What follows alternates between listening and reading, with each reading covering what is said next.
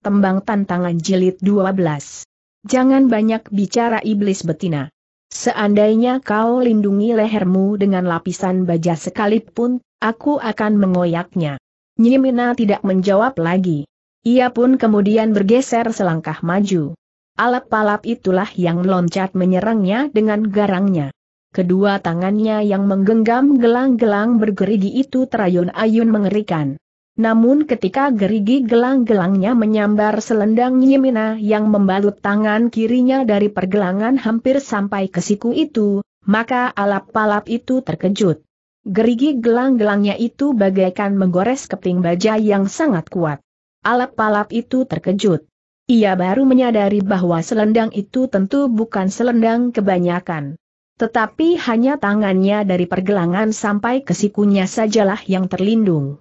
Masih ada bagian-bagian lain di tubuh perempuan tua itu yang lemah, yang akan dapat digoresnya dengan gerigi gelang-gelangnya. Bahkan lehernya pun masih akan dapat dikoyaknya. Dengan demikian, maka pertempuran di antara Nyimina melawan alap pala palas roban itu pun menjadi semakin sengit. Sementara itu, mereka yang menyaksikan pertempuran itu di luar arena, menjadi semakin tegang pula. Mereka tidak segera dapat menduga, siapakah yang akan dapat keluar dari area pertempuran itu. Namun agaknya mereka telah benar-benar bertempur antara hidup dan mati. Senjata yang berbahaya itu sudah mulai ikut berbicara, sehingga mendekatkan mereka yang bertempur itu kepada kematian. Tetapi siapakah yang akan mati itulah yang masih belum dapat diduga-duga. Agaknya mereka semuanya itu mempunyai kesempatan yang sama. Mereka masing-masing dapat memenangkan pertempuran itu, tetapi mereka pun dapat terlempar dan mati terbaring di halaman kedar itu. Namun kemudian ternyata bahwa Nyimina itu telah membuat lawannya menjadi semakin gelisah. Selendangnya yang dibalutnya pada tangannya itu mampu menahan tajamnya gerigi gelang-gelang di kedua tangan alap pala palas roban. Sementara itu, Kimina yang juga sudah tergores pula, bahkan di dadanya, meskipun hanya goresan yang tipis, namun bajunya lah yang terkoyak panjang menyilang. Namun meskipun lukanya hanya tipis di kulitnya, tetapi darahnya telah mulai menodai bajunya yang terkoyak itu. Kemarahan Kimina pun bagaikan membakar ubun-ubunnya. Tetapi seperti Nyimina, Kimina masih belum berniat melumatkan lawannya dengan ilmu pamungkasnya. Karena itu, untuk melawan gerigi tajam pada gelang-gelang di kedua tangan alap-alap itu, maka Kimina telah mengurai ikat kepalanya, sehingga rambutnya yang sudah ubanan itu tergerai menyentuh bahunya. Seperti selendang Yimina, maka ikat kepala Kimina itu bukan ikat kepala kebanyakan. Ketika gerigi tajam pada gelang-gelang alap pala-pala skobar itu menyentuhnya, ikat kepala yang dibalutkan pada tangan Kimina sebagaimana selendang Yiminatu, sama sekali tidak menjadi cacat apalagi terkoyak, selembar benangnya pun tidak ada yang putus. Dengan demikian maka alap pala-palas roban itu menjadi semakin gelisah. Geriginya tidak mampu lagi menyentuh kulit Kimina yang bergerak semakin cepat. Menangkis dengan tangannya yang dibalut ikat kepalanya, bahkan serangan-serangannya justru semakin sering mengenainya. Alap-pala Kobar itu adalah orang-orang terpenting di perguruannya. Ia adalah orang-orang yang berada pada tataran teratas. Namun ia sama sekali tidak mampu mengatasi laki-laki tua yang tidak dikenalnya itu. Karena itu, maka alap pala palas roban itu tidak ingin mati di tangan orang yang sama sekali tidak dikenal di antara orang-orang yang bernama besar. Dalam keadaan yang paling sulit itu, maka alap pala palas roban itu pun memutuskan untuk menghancurkan lawannya selagi ia masih sempat. Aku tidak mempunyai cara lain untuk menghancurkannya. Aku harus melumatkannya menjadi abu. Namun Kimina tidak memberinya banyak kesempatan. Karena itu maka yang dilakukan oleh alap-alapalas roban itu serba tergesa-gesa. Ia tidak sempat memusatkan nalar budinya secara utuh untuk melontarkan ilmu pamungkasnya. Dengan demikian, maka ketika segumpal api meluncur dari kedua telapak tangannya yang menghentak, maka kekuatan Ajiraga Geni itu pun tidak berada pada puncaknya. Kimina tidak berusaha melawan dengan ilmu puncaknya. Tetapi ia justru meloncat menghindari serangan itu. Namun sejenak kemudian tubuhnya meluncur seperti anak panah. Kakinya terjulur menyamping. Kimina telah mengerahkan tenaga dalamnya dalam kekuatan aji segar bumi. Serangan itu ternyata telah meruntuhkan perlawanan alap pala-pala Suroban. Kaki Kimina yang mengenai dadanya itu telah mematahkan beberapa tulang iganya, sehingga alap pala-pala saroban yang terlempar dan terbanting jatuh itu tidak mampu berdiri lagi. Terdengar erang kesakitan. Wajah alap pala-pala saroban itu menjadi pucat seperti kapas. Berbeda dengan Kimina, ternyata kemarahan Yimina tidak dapat diredam lagi. Luka di lengannya yang telah menitikan darah itu membuatnya sangat marah. Karena itu, ketika Nyimina melihat lawannya melemparkan gelang-gelang yang bergerigi, kemudian memusatkan nalar budinya, maka Nyimina pun dengan cepat melakukannya pula. Alat pala-pala saroban yang bertempur melawan Nyimina mempunyai waktu yang lebih panjang dari saudara seperguruannya yang bertempur melawan Kimina. Tetapi Nyimina pun sempat mempersiapkan dirinya menghadapi ilmu puncak lawannya. Demikianlah sejenak kemudian, kedua ilmu puncak itu pun telah meluncur. Benturan yang dahsyat telah terjadi. Namun ternyata bahwa Nyimina memiliki kekuatan ilmu pamungkas yang lebih tinggi dari lawannya. Itulah sebabnya, maka alap pala-pala seroban itu pun terpelanting jatuh. Tubuhnya membentur bebatur kedai yang disusun dari batu-batu hitam. Kedai itu pun bagai digoncang gempa. Tetapi kedai itu tidak roboh karenanya. Namun alap-pala roban itu pun tidak mampu untuk bangkit lagi. Bukan hanya tulang-tulang iganya yang patah. Tetapi tulang kepalanya yang membentur batu bebatur kedai itu pun telah retak pula. Lebih dari itu, maka benturan kedua ilmu yang tinggi itu ternyata tidak teratasi oleh ketahanan tubuh alap-pala roban, sehingga bagian dalam tubuhnya seakan-akan telah terbakar hangus. Ternyata bahwa alap pala-pala saroban yang bertempur melawan Nyimina itu telah kehilangan segala kesempatannya. Nyimina berdiri termangu-mangu. Wajahnya menjadi sangat tegang. Dipandanginya tubuh yang terbaring diam itu. Kimina pun kemudian melangkah mendekatinya. Dengan lembut Kimina itu pun berkata, bukan salah munyi. Aku telah membunuhnya, Kakang. Dalam keadaan yang tersudut, maka kemungkinan itu akan dilakukan oleh setiap orang. Aku pun akan berbuat serupa pula. Kakang tidak membunuh lawan Kakang. Aku masih mempunyai pilihan, Nyi. Sedangkan kau tidak lagi. Nyi Mina termangu-mangu sejenak. Ia pun kemudian melangkah mendekati murid-murid dari perguruan Tapak Mega. Kami dapat membuat kalian mendapatkan kesulitan. Dengan terpaksa aku telah membunuh orang dari perguruan alas roban, Justru pada saat perguruan itu mempunyai persoalan dengan kalian, murid-murid perguruan tapak mega. Bukan salah Nyai. Justru kami harus berterima kasih kepada Nyi dan Kiai yang telah menolong kami. Ger berkata Kimina, persoalan ini harus segera diketahui oleh para pemimpin dari perguruan tapak mega. Maksudku, Kirinarina. Bukankah perguruan tapak mega masih dipimpin oleh Kirinarina? Ya, Kiai. Kiai kenal dengan guru. Ya. Siapakah Kiai dan Nyai sebenarnya? Ki Mina menarik nafas panjang. Ketika ia berpaling kepada orang-orang dari alas roban, maka dilihatnya nyala api di mati mereka. Bahkan orang yang tulang-tulang iganya dipatahkannya itu seakan-akan ingin meloncat menerkamnya dan menelannya bulat-bulat. Karena itu, maka katanya, pada saatnya kau akan mengerti. Kapan-kapan aku akan menemui gurumu, Kirinarina. Tetapi sebelumnya Kirinarina harus tahu, bahwa kau mempunyai persoalan dengan orang-orang dari perguruan alas roban, sehingga dengan demikian, maka kau akan mendapatkan perlindungan. Aku yakin, bahwa orang-orang yang memakai gelar alap pala-palas roban harus berpikir sepuluh kali untuk memusuhi Kirinarina dari pinggir kali Bagawanta itu. Raden Mas Wiragam menarik nafas panjang. Namun ia pun masih harus menyeringai menahan nyeri di bagian dalam dadanya. Sekarang pergilah Raden Mas.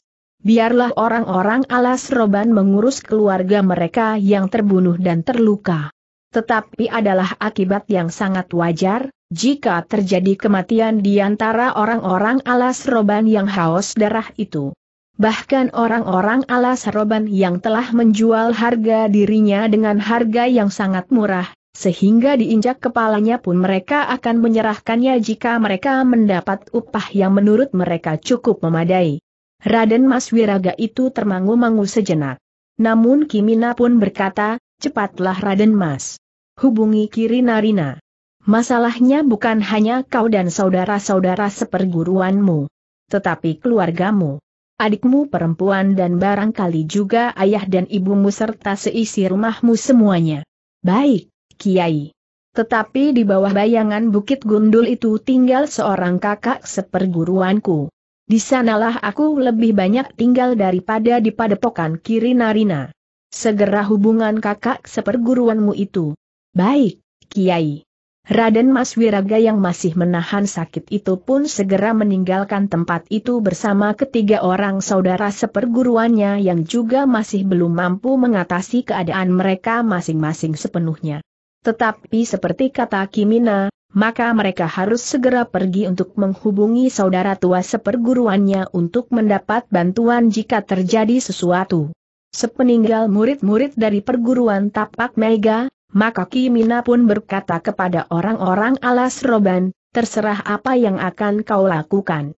Jika kau mendendam, jangan mendendam anak-anak dari tapak mega. Kami adalah orang-orang dari perguruan yang agaknya akan dapat kau kenali kemudian. Aku tidak berkeberatan untuk membuat perhitungan pada kesempatan lain. Orang yang tulang-tulang iganya patah itu mengumpat kasar tetapi suaranya yang berbaur dengan rintihan kesakitan itu tidak terdengar jelas. Namun pada akhirnya orang itu berkata, kau akan menyesal bahwa kau tidak membunuhku sekarang. Aku memang tidak berniat membunuhmu. Istriku juga tidak berniat membunuh. Tetapi saudara seperguruanmu itu tidak memberikan pilihan lain sehingga akhirnya justru saudara seperguruanmu itulah yang telah terbunuh. Persetan kau iblis. Tetapi pada akhirnya kau akan mati di tanganku. Kimina tidak menanggapinya lagi. Ia pun kemudian berkata kepada Nyimina, marilah. Kita akan pergi. Apakah kita sudah membayar makan dan minuman kita?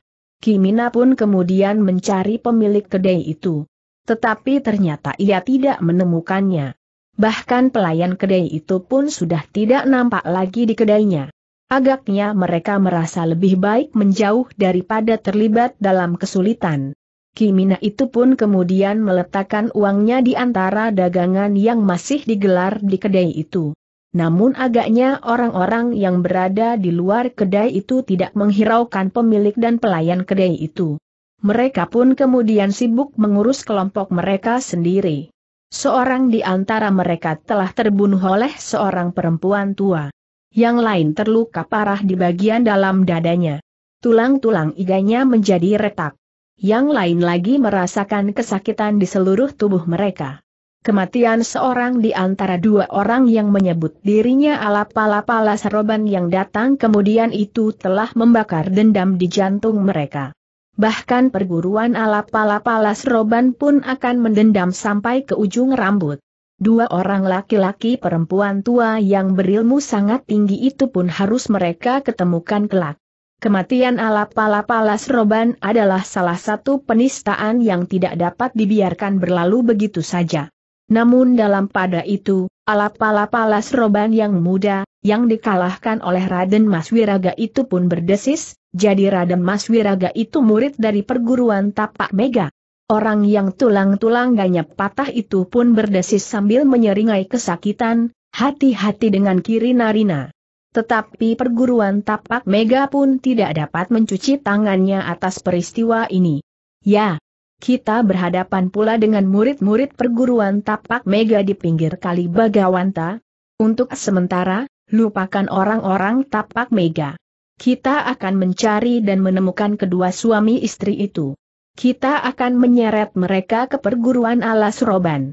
Kita akan membuat keduanya benar-benar mengenal siapakah alap-alap alas roban itu.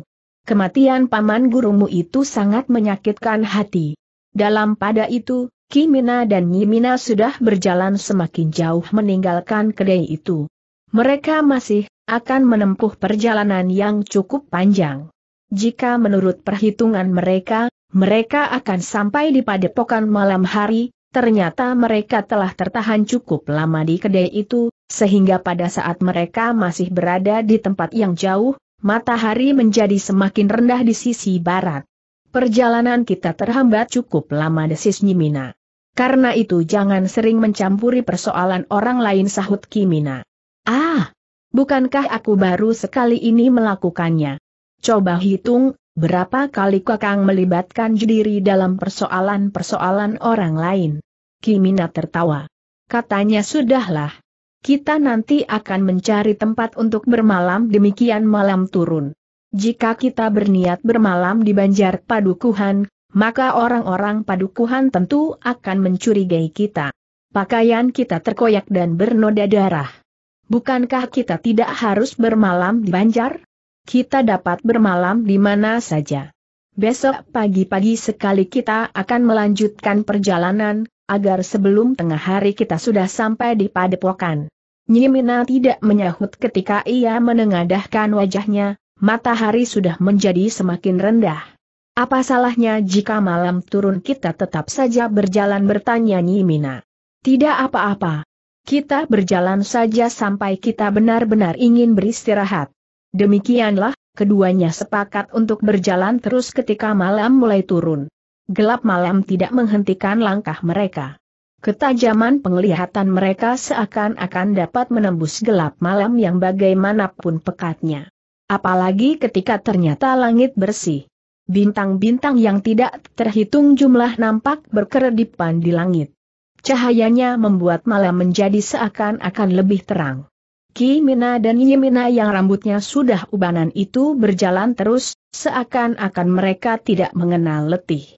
Kaki-kaki mereka menapak dengan mantap di atas jalan berbatu-batu padas tetapi telapak kaki mereka sama sekali tidak merasakan nyerinya ujung batu-batu padas serta kerikil-kerikil yang tajam yang menusuk. Sekali-sekali terdengar mereka berbicara tentang perjalanan mereka, namun kemudian mereka berdua pun berdiam untuk beberapa lama. Keduanya pun kemudian mulai merasakan udara malam yang dingin. Angin basah yang berhembus perlahan-lahan mengusap kulit wajah mereka menembus sampai ke tulang. Kau merasakan dinginnya malam, Kakang? Ya.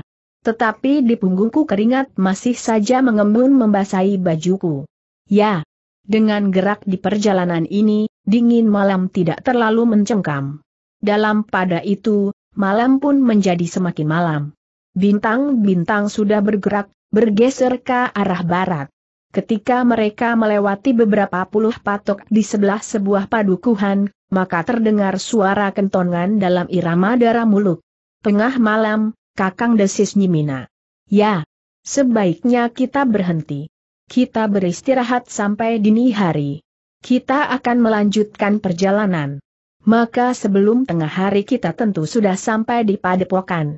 Baiklah, Kakang. Kita akan mencari tempat terbaik untuk bermalam. Jika saja kita menemukan gubuk di tengah sawah desis Kimina. Keduanya pun berjalan semakin lambat sambil memandang keluasnya bulak di depan mati mereka. Jika saja mereka menemukan sebuah gubuk untuk meletakkan tubuh mereka sampai dini. Namun mereka tidak menemukan gubuk di tengah-tengah bulak itu, sehingga akhirnya mereka berjalan mendekati sebuah padukuhan yang terhitung besar. Kita akan berjalan menyusuri pematang. Kita tidak akan melewati jalan utama padukuhan itu, Nyi. Kita tidak ingin diganggu oleh berbagai macam pertanyaan jarang orang yang sedang meronda. Baik, Kakang. Kita berjalan di luar padukuhan. Keduanya pun kemudian menuruni tanggul parit di pinggir jalan. Mereka menghindari jalan yang menembus padukuhan itu, karena mereka tidak ingin mengalami kesulitan menjawab pertanyaan para peronda yang kadang-kadang merambat ke mana-mana. Tetapi baru beberapa langkah, mereka mendengar teriakan di padukuhan itu, tolong, tolong. Keduanya pun berhenti dengan serta-merta. Teriakan itu semakin lama menjadi semakin dekat. tolong, tolong. Nyudesis Kimina, bagaimana menului pendapatmu? Apakah kita sebaiknya peduli kepada teriakan-teriakan itu atau kita kokoh pada sikap kita untuk tidak mencampuri persoalan orang lain, siapa pun mereka? Tunggu sebentar kakang. Suara itu adalah suara seseorang yang sangat ketakutan. Kimina menarik nafas panjang. Sejenak kemudian, mereka pun melihat seseorang berlari keluar dari regol padukuhan diburu oleh beberapa orang. Nampaknya orang yang diburu itu sudah tidak mungkin lolos. Masih terdengar orang itu berteriak, tolong, tolong, aku bukan pencuri. Namun tangan-tangan yang terjulur dari mereka yang mengejar orang itu telah menggapai bajunya. Karena itu, maka orang itu pun tidak dapat lari lagi. Tangan-tangan itu begitu kokoh mencengkamnya. Ampun, Kisanak. Ampun orang itu berlutut sambil menyembah, aku bukan pencuri. Kau mau apa sebenarnya teriak seseorang. Aku akan menemui pamanku. Siapa nama pamanmu? Yang aku tahu, aku memanggilnya Paman Wakas. Tidak ada yang namanya Paman Wakas di padukuhan ini. Kecuali itu sikapmu juga mencurigakan. Kau mengendap-endap di regol halaman rumah Ki Pameca.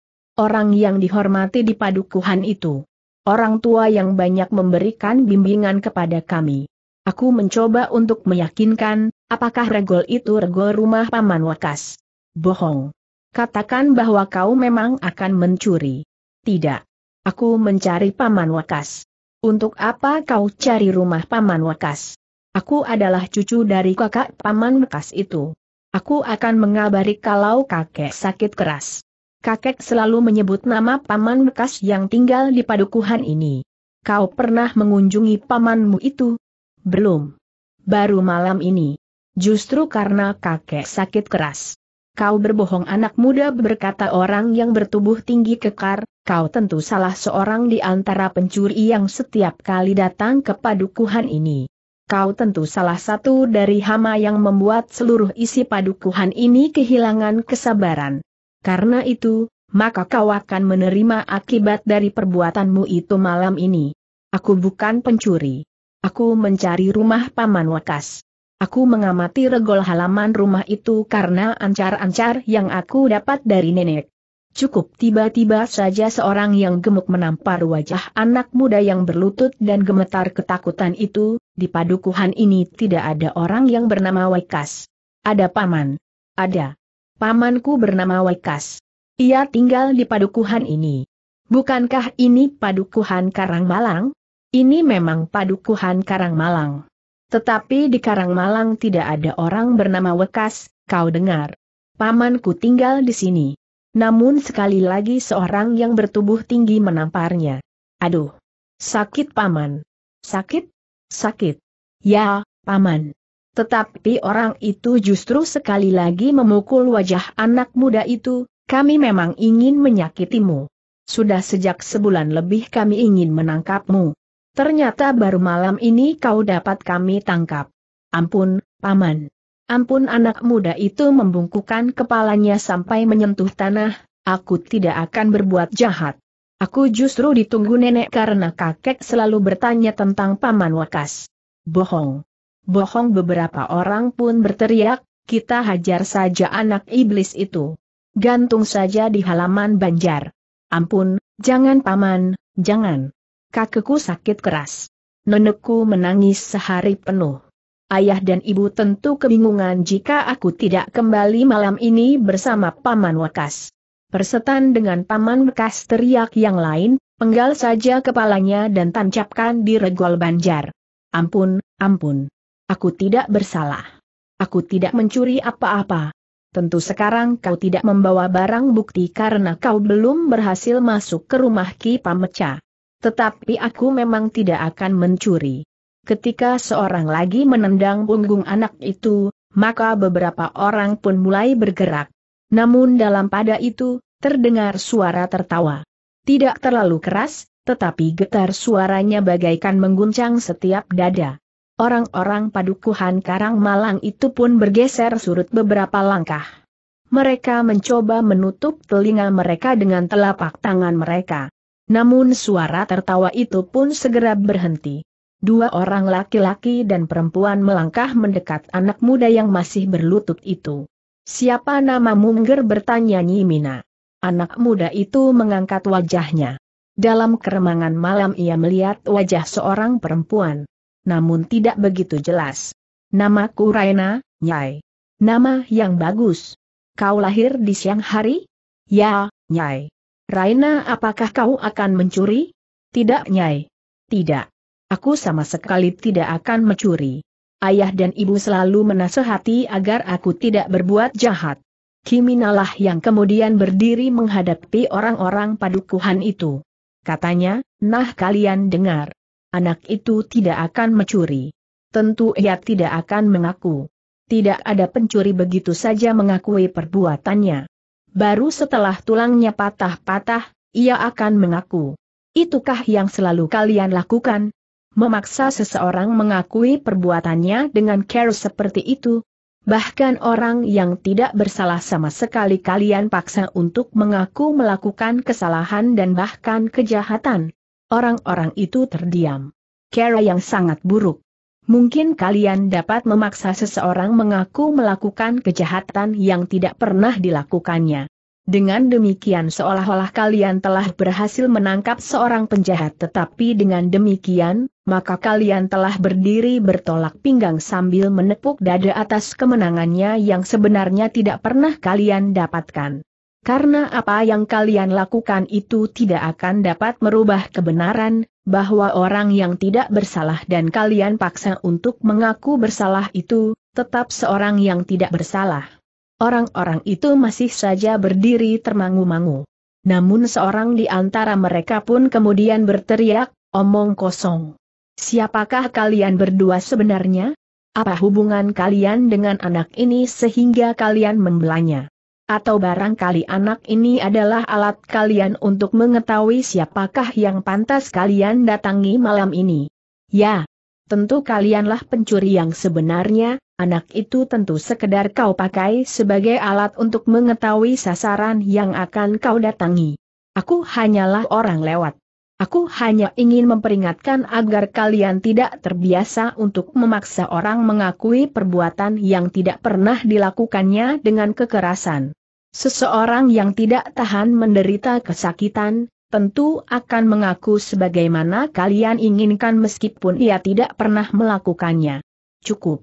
Serahkan anak itu kepada kami, atau kalian berdua akan terlibat dalam persoalan ini karena anak ini memang anakmu atau cucumu atau siapa saja yang menjadi kaki angsmu. Dengan demikian, maka kalianlah pencuri yang sebenarnya titik yang setiap kali mengganggu ketenangan padukuhan kami. Jangan menjadi mata gelap. Sebaiknya kalian bertanya lebih jelas, anak ini tinggal di mana dan lebih baik kalian antarkan anak ini mencari adik kakeknya yang sedang sakit itu. Cukup bentak orang yang bertubuh tinggi, kalian bertiga akan kami tangkap dan kami seret ke Banjar Padukuhan. Biarlah rakyat Padukuhan ini yang menentukan, hukuman apakah yang pantas kami berikan kepada kalian bertiga. Jangan menjadi terlalu buas. Aku mengerti, bahwa pencurian-pencurian yang sering terjadi di padukuhan ini membuat kalian menjadi sangat marah dan benci kepada pencuri itu. Tetapi itu bukan alasan untuk menuduh siapa saja yang kalian temui di malam hari sebagai pencuri itu. Cukup teriak yang gemuk, tangkap mereka dan paksa mereka pergi ke halaman Banjar. Kita akan sama-sama menentukan hukuman bagi mereka. Kenapa harus ke Banjar? Bukankah kita dapat menghukum mereka di sini? Jika Ki Bekel mengetahui bahwa kita menangkap pencuri, maka Ki Bekel tentu akan mencegah kita untuk menghukum mereka. Kau benar. Kita tidak usah membawa ke Banjar. Kita tidak usaha melapor kepada Ki Bekel. Kita hakimi saja orang-orang itu sekarang. Kisanak semuanya berkata Kimina, jangan berkata seperti itu. Jangan terbiasa menghakimi sendiri, meskipun seandainya terhadap orang yang bersalah sekalipun. Apalagi terhadap orang yang tidak bersalah. Jangan dengarkan. Tangkap ketiga orang itu. Kita akan menghukum mereka. Kita tidak mau setiap kali padukuhan ini diganggu oleh pencuri. Ketika orang-orang itu bergerak, maka Kimina dan Nyimina pun telah bergeser pula sebelah menyebelah anak yang malang itu. Dengan lantang Kimina pun berkata, aku percaya kepada anak ini, bahwa ia tidak bersalah. Karena itu, maka apa pun yang akan terjadi, kami akan melindunginya. Persetan geram orang yang bertubuh kekar seperti seekor badak, aku akan mematahkan tulang-tulang tuamu yang sudah rapuh itu. Ketika orang-orang itu mulai bergerak, maka Kimina pun tertawa. Suara tertawanya yang tidak begitu keras itu telah mengguncang udara di pinggir padukuhan itu. Getarannya yang tajam terasa menusuk sampai ke jantung. Orang-orang padukuhan Karang Malang itu pun meragakan, betapa jantungnya bagaikan tertusuk-tusuk duri. Karena itu, maka mereka pun telah menutup telinga mereka dengan kedua belah telapak tangan mereka.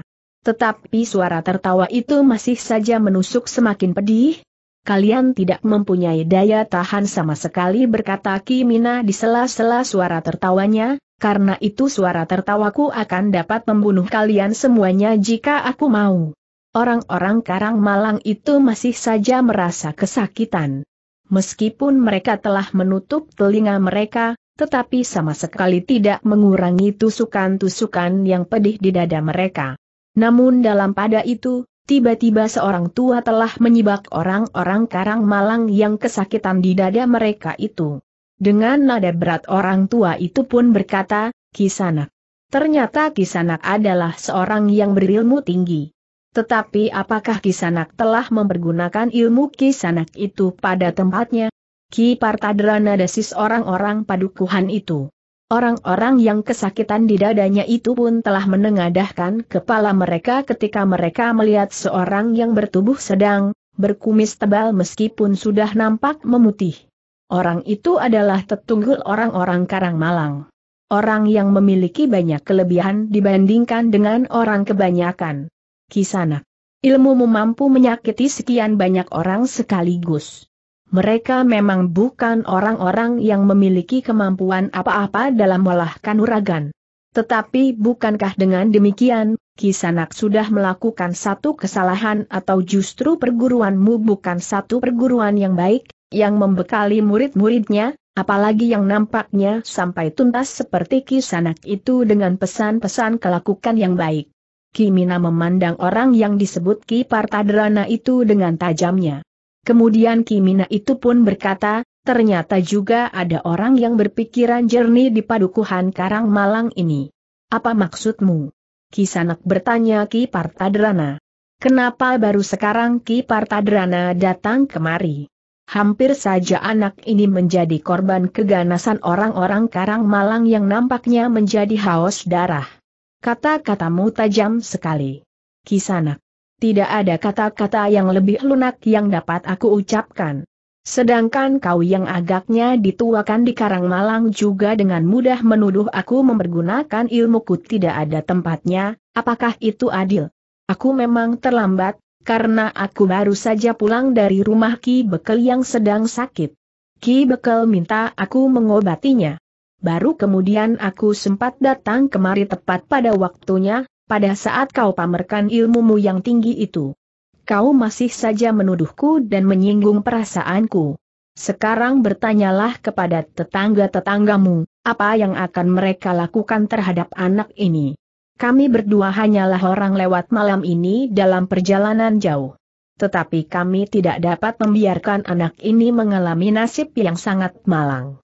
Nah, Apakah kau yang nampaknya mempunyai pengaruh yang besar di Karang Malang yang mengajari tetangga-tetanggamu menjadi bengis sehingga kehilangan rasa kemanusiaannya?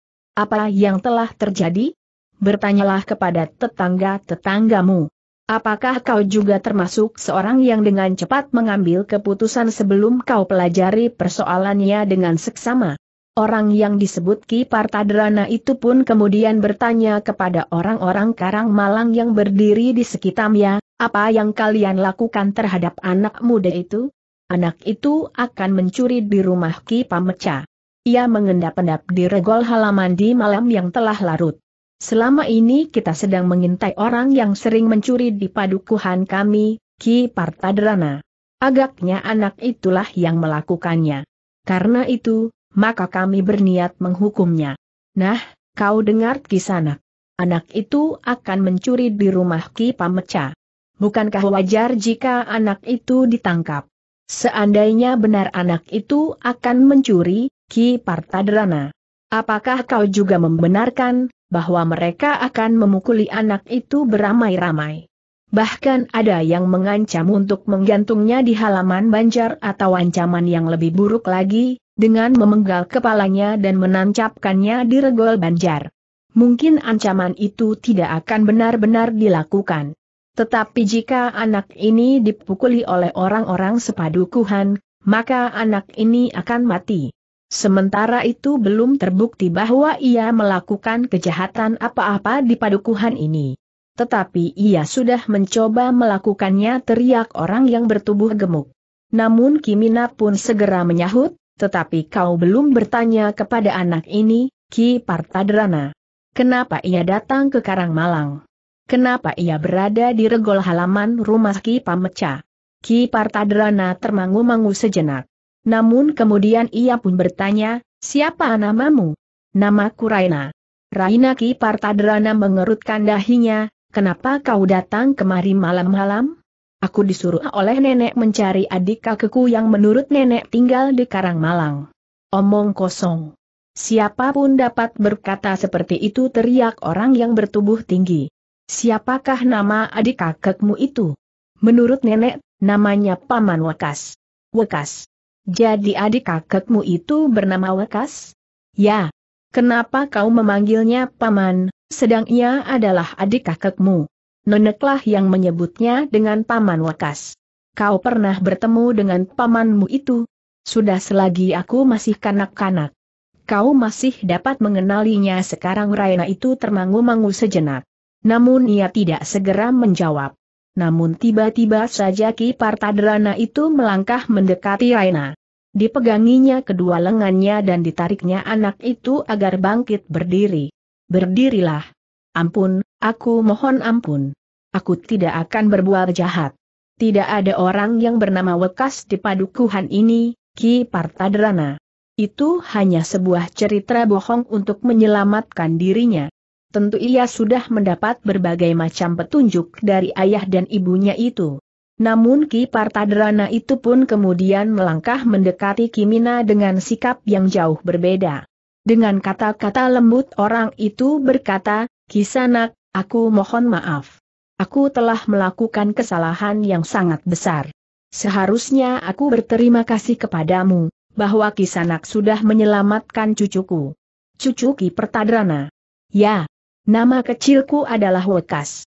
Tetapi sejak aku tinggal di Karangmalang, aku sudah bernama Ki Partadrana. Setelah aku menikah, dan berumah tangga sendiri di sini, namaku adalah Ki Partadrana. Jadi Raina ini cucu kakak kandung Ki Partadrana. Ya, ia adalah cucu kakak kandungku. Aku masih ingat nama itu, Raina. Hi, siapa nama kakakmu, Ger? Ki Reja Salam. Ya, kakakku memang bernama Ki Reja Salam. Nama kecilnya Salam. Setelah ia menikah, namanya adalah Rejawinangun.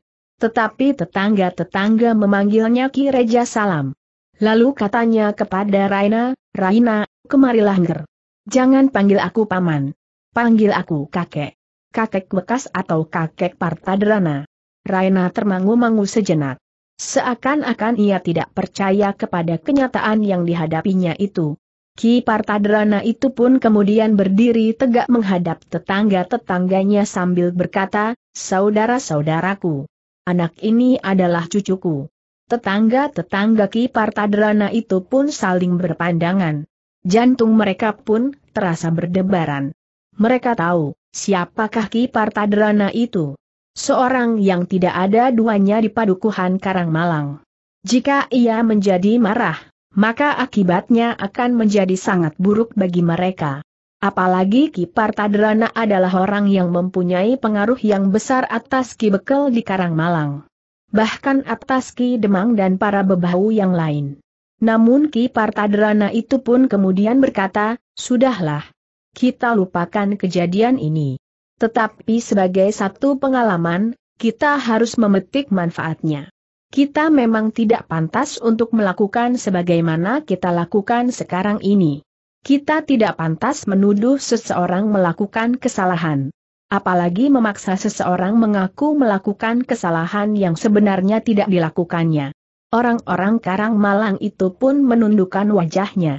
Bayangkan, seandainya kalian tidak dicegah oleh kedua orang suami istri ini, apa yang kira-kira telah terjadi atas anak muda ini? Anak muda yang tidak melakukan sebagaimana kalian tuduhkan kepadanya. Tetapi ia harus menanggung akibat buruk itu. Bagaimana pula jika anak ini mati, justru pada saat ia mencari kakeknya? Orang-orang Karang Malang itu terdiam sambil menundukkan kepala mereka. Ibu anak ini akan menangis siang dan malam.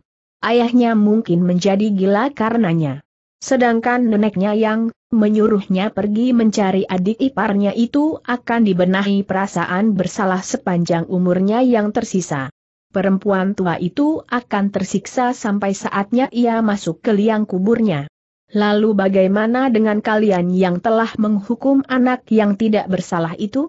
Apakah kalian tidak merasa bersalah sama sekali? Apakah kalian cukup minta maaf atas satu kenilafan sementara nyawa anak muda yang seharusnya mempunyai hari depan yang masih panjang ini terampas? Orang-orang Karang Malang itu bagaikan membeku di tempat mereka berdiri. Ki Partadrana itu pun kemudian bertanya kepada Raina, kenapa nenek itu menyuruhmu mencari aku? Kakek Raja Salam sakit keras. Kakek selalu menyebut nama paman.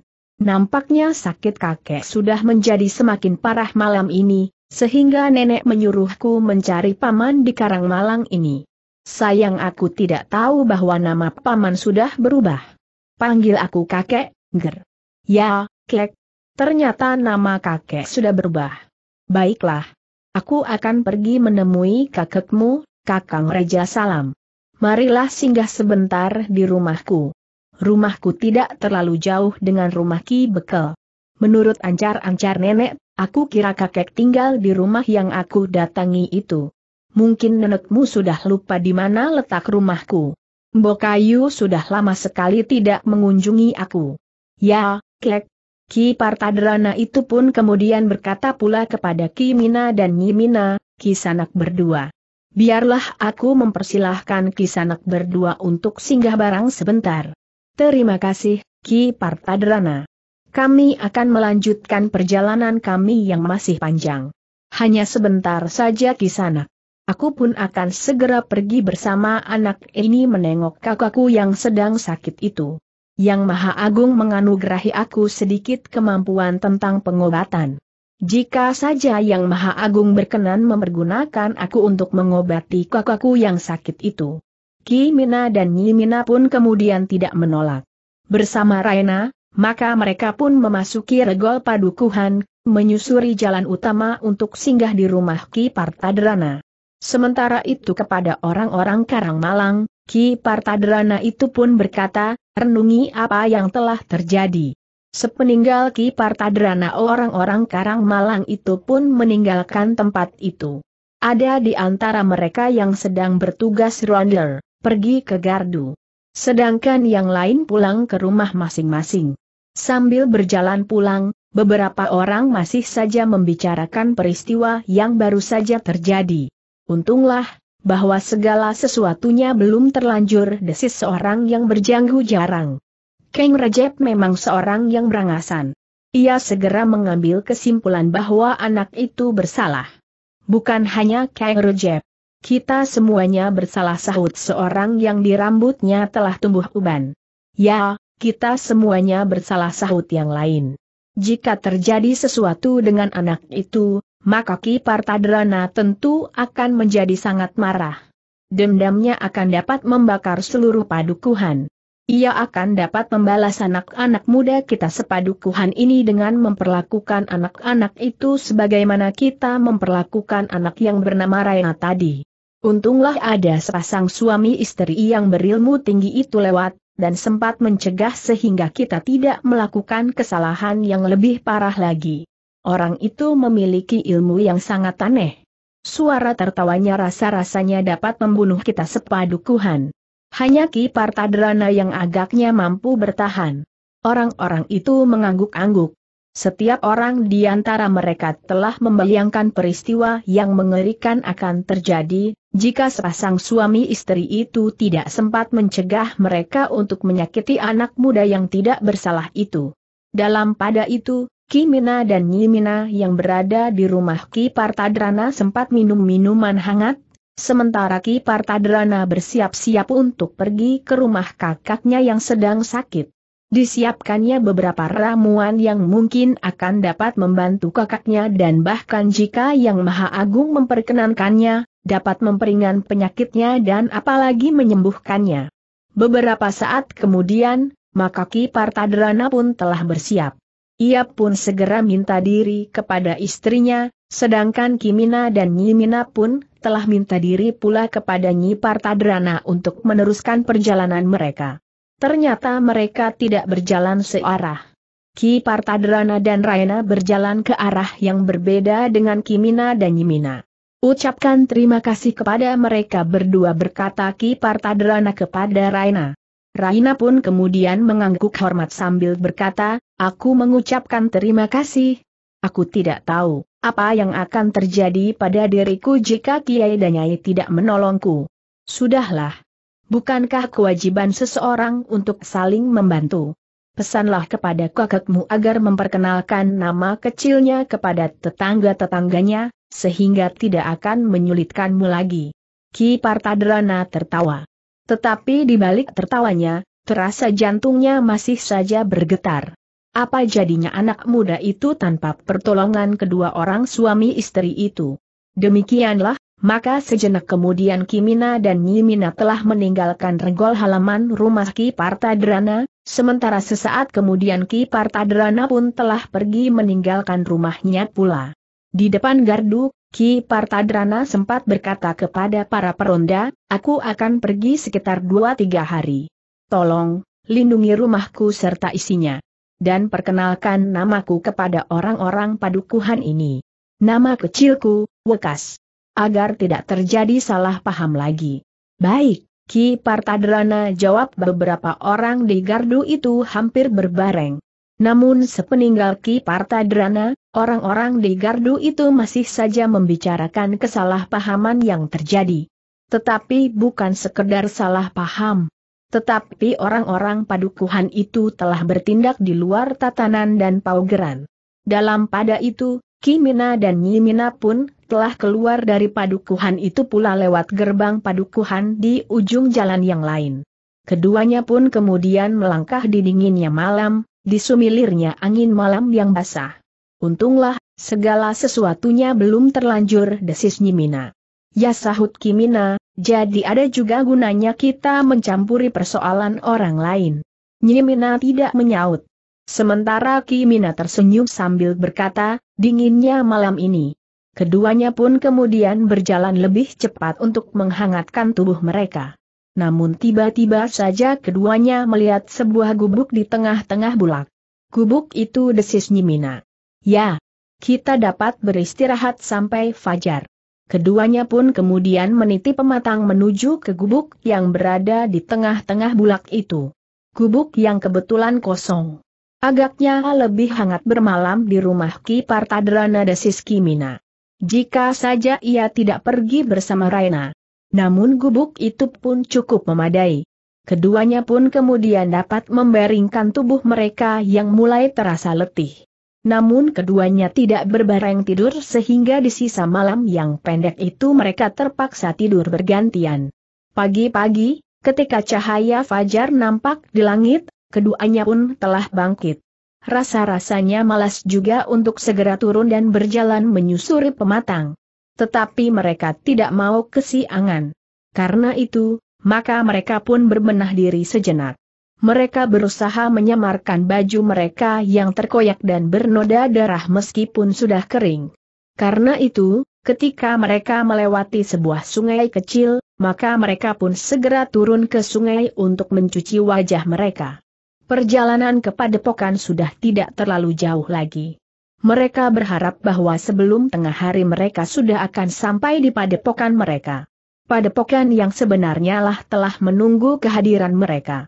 Keduanya sudah terlalu lama pergi, melampaui waktu yang diperkirakan. Ketika matahari menjadi semakin tinggi, maka mereka pun telah berada di jalur jalan langsung menuju ke padepokan mereka.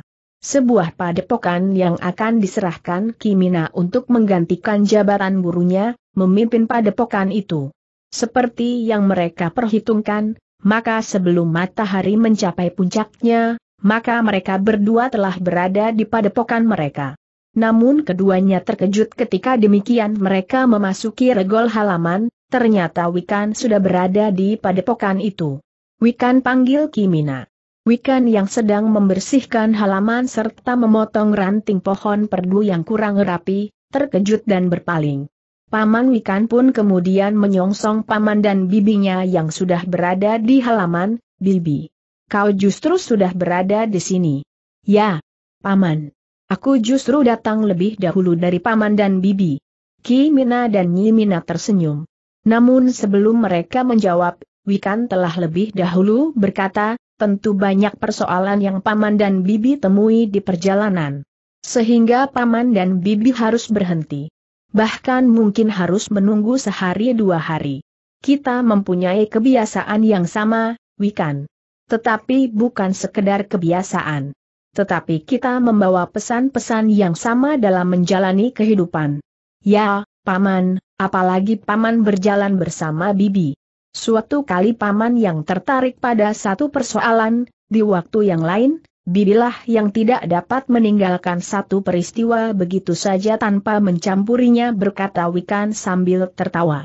Ki Mina dan Nyi Mina pun tertawa pula. Nah, Paman. Guru telah menunggu kedatangan Paman. Marilah naik ke pendapa. Bukankah kami bukan tamu? Di manakah guru sekarang? Guru sedang berada di sanggar. Akhir-akhir ini guru terlalu sering berada di sanggar seorang diri. Apakah guru marah karena kami terlalu lama pergi?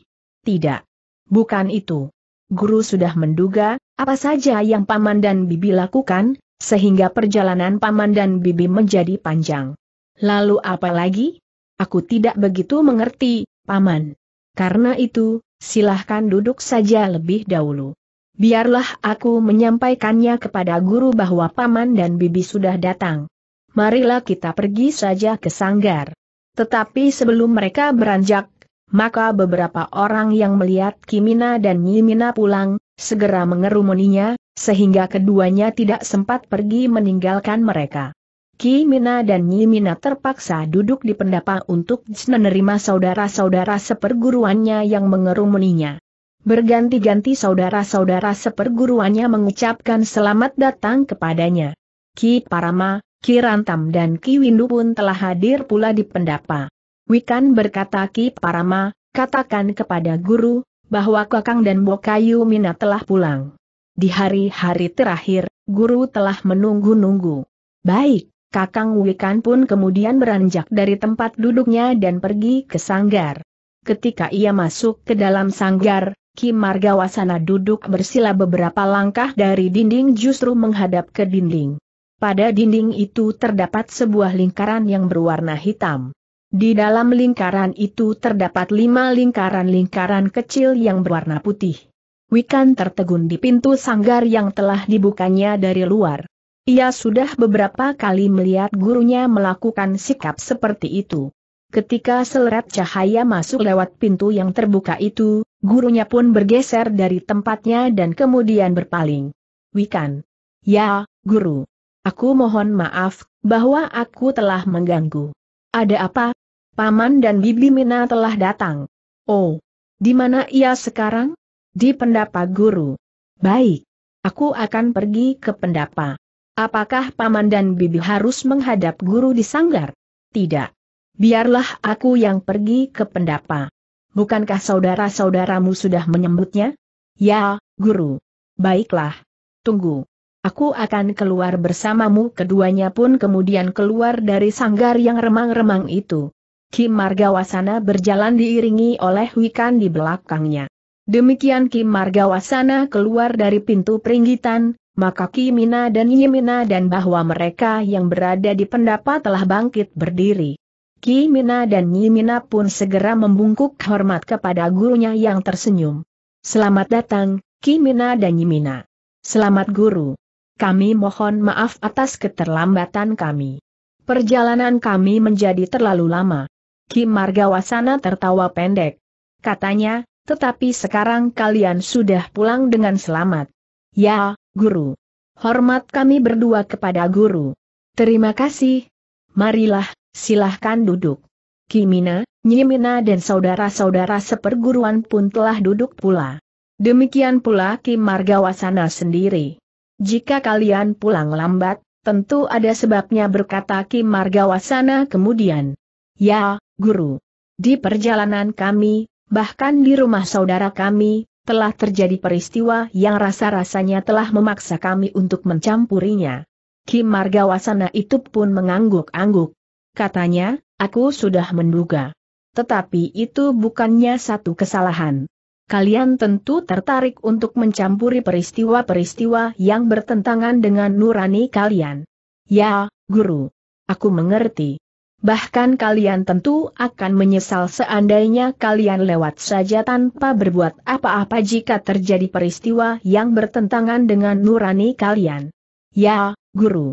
Nah, ceritakan, bahwa kalian sudah menyelesaikan tugas kalian untuk menyelamatkan sanak keluarga kalian itu. Sudah, guru. Kami sudah selesai. Sejak saat ini kami sudah dapat memusatkan perhatian kami kepada padepokan ini. Bahkan Wikan pun justru telah berada di sini pula. Ya, ia justru datang lebih dahulu dari kalian. Kami belum bertanya kepadanya, bagaimana dengan ibunya yang sendiri. Ki Margawasana itu pun berpaling kepada Wikan sambil berkata, kau belum bercerita kepada pamanmu. Belum guru. Aku sempat. Begitu paman datang, maka paman langsung dikerumuni oleh saudara-saudara kami. Ki Margawasana tersenyum. Katanya, nah, katakan kepada pamanmu, bagaimana dengan ibumu? Paman, ternyata ibu memilih untuk sementara tinggal bersama Yeu Wuni suami Wuni akan mampu melindunginya, karena suami Wuni adalah seorang yang berilmu tinggi. Ia pun seorang yang sangat-sangat baik terhadap Wuni dan keluarganya. Bahkan yang beberapa saat yang lalu, ia bukan saja sangat baik, tetapi menurut pendapatku, ia justru seorang yang lemah. Tetapi bukankah sekarang telah berubah? Ya, Kakang telah berubah. Yeu Wuni pun telah berubah pula. Ki Mina menarik nafas panjang. Dalam pada itu, Ki Margawasana pun kemudian berkata, Nah, kalian berdua bukan tamu di sini. Sekarang, beristirahatlah. Bilik kalian masih bilik kalian yang dahulu. Terima kasih guru. Ki Mina dan Nyi Mina pun kemudian minta diri kepada saudara-saudara seperguruannya yang mengerumuninya. Mereka berdua ingin berbenah diri pergi ke pakiwan, berganti pakaian dan kemudian beristirahat. Namun demikian mereka turun dari pendapa, Nyaimina langsung mencari Tanjung. Katanya, aku sudah sangat rindu kepada Tatak. Apakah ia masih sering menangis? Masih, Bibi jawab Wuikan. Ketika Nyimina menemukan Tatak, ia baru disuapi oleh ibunya. Namun langsung saja Nyimina seakan-akan merebut anak itu dipeluknya anak itu dalam gendongannya. Tidak puas-puasnya Nyimina menciumi anak yang kemudian meronta di tangannya. Seharusnya kau mandi dahulu berkata Kimina, berganti pakaian dan baru kau sentuh anak itu. Tetapi Nyimina tidak mendengarkannya. Namun Tata yang meronta karena nafasnya menjadi sesak dalam dekapan Nyimina itu pun tiba-tiba menangis. Tetapi Nyimina justru berkata, Aku rindu sekali mendengar tangismu, Tatak. Seolah-olah aku mendengar tangis Raden Tutuka yang dilebur di kawah Chandra di muka. Yang direbus di panasnya kawah gunung serta dilempari dengan segala jenis senjata. Tetapi segala jenis senjata itu justru akan lebur menyatu dengan tubuhnya Nyimina berhenti sejenak, yang terdengar adalah tangis tatak yang meninggi, kau pun akan menjadi seperti Raden Tutuka. Kimina tertawa. Katanya, sudah, sudah. Berikan anak itu kepada ibunya.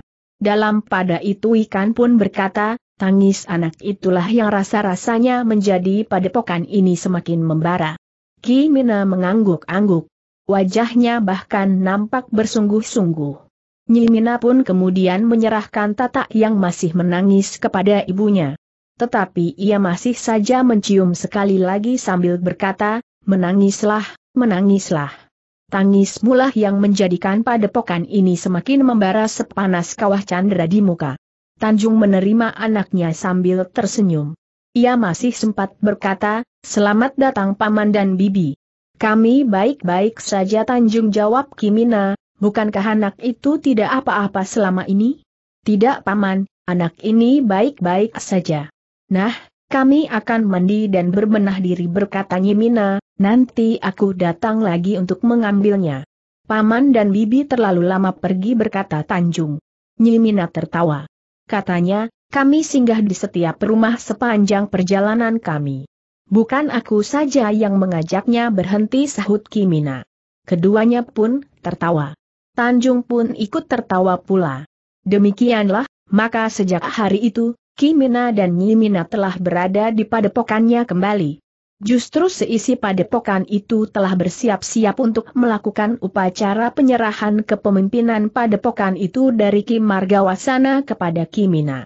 Tidak ada seorang pun dari seisi padepokan yang mempersoalkan penyerahan itu atau bahkan tidak sependapat dengan keputusan Kim Margawasana.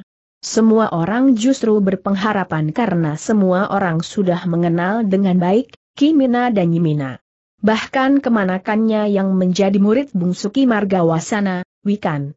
Namun jika kepemimpinan padepokan itu diserahkan kepada Kimina, maka padepokan itu akan dapat menerima murid-murid baru lagi meskipun sebagaimana kebiasaan Ki Margawasana, yang agaknya akan diikuti oleh Kimina, padepokan itu tidak terbiasa menerima murid terlalu banyak. Kebiasaan padepokan itu untuk setiap angkatan, hanya beberapa orang murid saja yang diterima lewat berbagai macam pendadaran. Bahkan kebiasaan Kim Margawasana adalah mendahulukan anak-anak muda yang tinggal tidak terlalu jauh daripada pokannya asal saja mereka juga mampu melampaui pendadaran sebagaimana disyaratkan. Pada hari yang ditentukan, maka di pagi-pagi sekali, semua penghuni padepokan itu sudah bersiap. Kimina pun telah bersiap pula untuk memasuki sebuah upacara sederhana yang akan dilakukan oleh seisi padepokan itu. Para murid padepokan itu telah berdiri di halaman padepokan sebelum matahari terbit. Ki Margawasana dibantu oleh Ki Parama, Ki Rantam dan Ki Windu telah memasang lima buah lingkaran-lingkaran kecil yang disusun berurutan. Di luar kelima lingkaran itu terdapat sebuah lingkaran yang lebih besar. Pada saat bayangan sinar matahari sudah membayang di langit, maka Kim Margawasana pun berdiri menghadap kepada kelima lingkaran yang ditata berurutan itu. Di belakang Kim Margawasana berdiri Kimina yang akan menerima arus kepemimpinan itu. Demikian matahari terbit, Kim Margawasana yang berada di sebelah barat kelima lingkaran yang ditata berurutan membujur ke barat itu pun segera menempatkan dirinya. Dalam pada itu, di dadanya terdapat bayangan kelima lingkaran yang berjajar memujur ke barat itu. Namun demikian matahari terbit dan merambat naik, maka kelima lingkaran itu pun menjadi saling mendekat, sehingga akhirnya bayangan kelima lingkaran itu telah menumpuk menjadi satu. Pada saat itulah Kim Margawasana bergeser, sehingga bayangan yang sudah menyatu itu pun jatuh di dada Kimina. Kimina memang agak terkejut. Ia tidak diberitahu oleh Ki Margawasana, akibat dari kelima bayangan lingkaran yang sudah menyatu itu. Demikian Ki Margawasana bergeser serta kelima bayangan lingkaran yang sudah menyatu itu jatuh ke dada Kimina, maka terasa dada Kimina bagaikan disengat api, sehingga Kimina itu berdesah tertahan. Panas di dadanya itu pun kemudian terasa menjalar mengalir lewat darahnya ke seluruh tubuhnya, sehingga seluruh tubuhnya menjadi panas. Namun sejenak kemudian, panas di tubuhnya itu pun mulai menurun. Bayangan kelima lingkaran itu masih berada di dadanya. Namun sejalan dengan putaran matahari, maka bayangan kelima lingkaran yang semula menyatu itu pun telah menjadi renggang kembali. Ki Margawasana pun kemudian berputar, membelakangi kelima lingkaran itu. Ia pun bergeser pula dan berdiri tepat di hadapan Kimina. Dalam pada itu, Ki Parama pun menyerahkan sebilah keris yang masih berada di dalam warangkannya kepada Ki Margawasana yang kemudian menyerahkannya kepada Kimina. Sebilah keris yang besar dan panjang, melampaui ukuran keris kebanyakan. Kimina pun segera berlutut. Diterimanya keris itu kemudian mengangkatnya di atas dahinya. Aku serahkan keris lambang kepemimpinan padepokan ini kepadamu. Guru jawab Kimina, aku menerima penyerahan ini dengan ikhlas dan bertanggung jawab. Terima kasih. Segala sesuatunya mengenai padepokan ini kemudian aku serahkan kepadamu. Namun aku berharap bahwa istrimu akan membuat jenang gula kelapa dan kalian berdua merubah nama kalian sesuai dengan kedudukan kalian di padepokan ini. Aku mohon guru menentukan nama itu bagi kami berdua. Jika kau tidak berkeberatan, aku ingin memanggilmu Ki Danyi Udiana. Guru Kimina itu pun menunduk dalam-dalam, aku tidak pantas menerima anugerah nama itu. Udiana mempunyai arti yang jauh lebih indah dari apa yang nampak pada diriku dan istriku. Aku mengerti, Mina. Tetapi aku berharap bahwa untuk selanjutnya padepokan ini pun dapat disebut padepokan Udiana yang dipimpin oleh Ki Udiana. Betapa beratnya aku dan istriku harus memikul nama itu, guru. Aku yakin, bahwa kau akan dapat mengusung beban itu nama itu akan menjadi cambuk bagimu dan bagi seisi padepokan ini, agar mereka tidak beranjak dari pesan-pesan yang pernah diberikan dan akan diberikan kepada mereka. Mudah-mudahan padepokan ini benar-benar menjadi petamanan yang asli dari segala macam bunga yang menyebarkan harumnya kehidupan yang ditandai dengan kasih sayang yang dirahmati oleh Tuhan yang Maha Pengasih dan Maha Penyayang menolong orang yang berada dalam kesulitan, melindungi mereka yang lemah serta berada dalam penindasan. Demikianlah, maka sejak hari penyerahan itu, maka Kimina resmi menjadi pemimpin padepokan itu. Seisi padepokan itu tidak lagi menyebutnya Kimina, tetapi mereka memanggil pemimpinnya yang baru dengan Ki Udiana. Karena seisi padepokan itu pada dasarnya adalah saudara seperguruan, maka mereka pun menyebut pemimpinnya yang baru itu dengan Kakang Udiana. Sedangkan padepokan itu pun telah disebut padepokan Udiana pula. Hari-hari pun berjalan seperti biasa. Kehidupan di padepokan Udiana itu pun tidak mengalami perubahan dengan serta-merta. Ki Udiana masih saja melakukan tugas-tugasnya sebagaimana Ki Margawasana.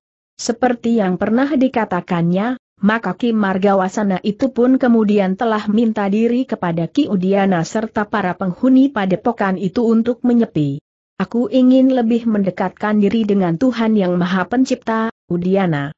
Aku ingin berada di satu tempat yang memungkinkan aku menjalani laku sesuai dengan niatku itu.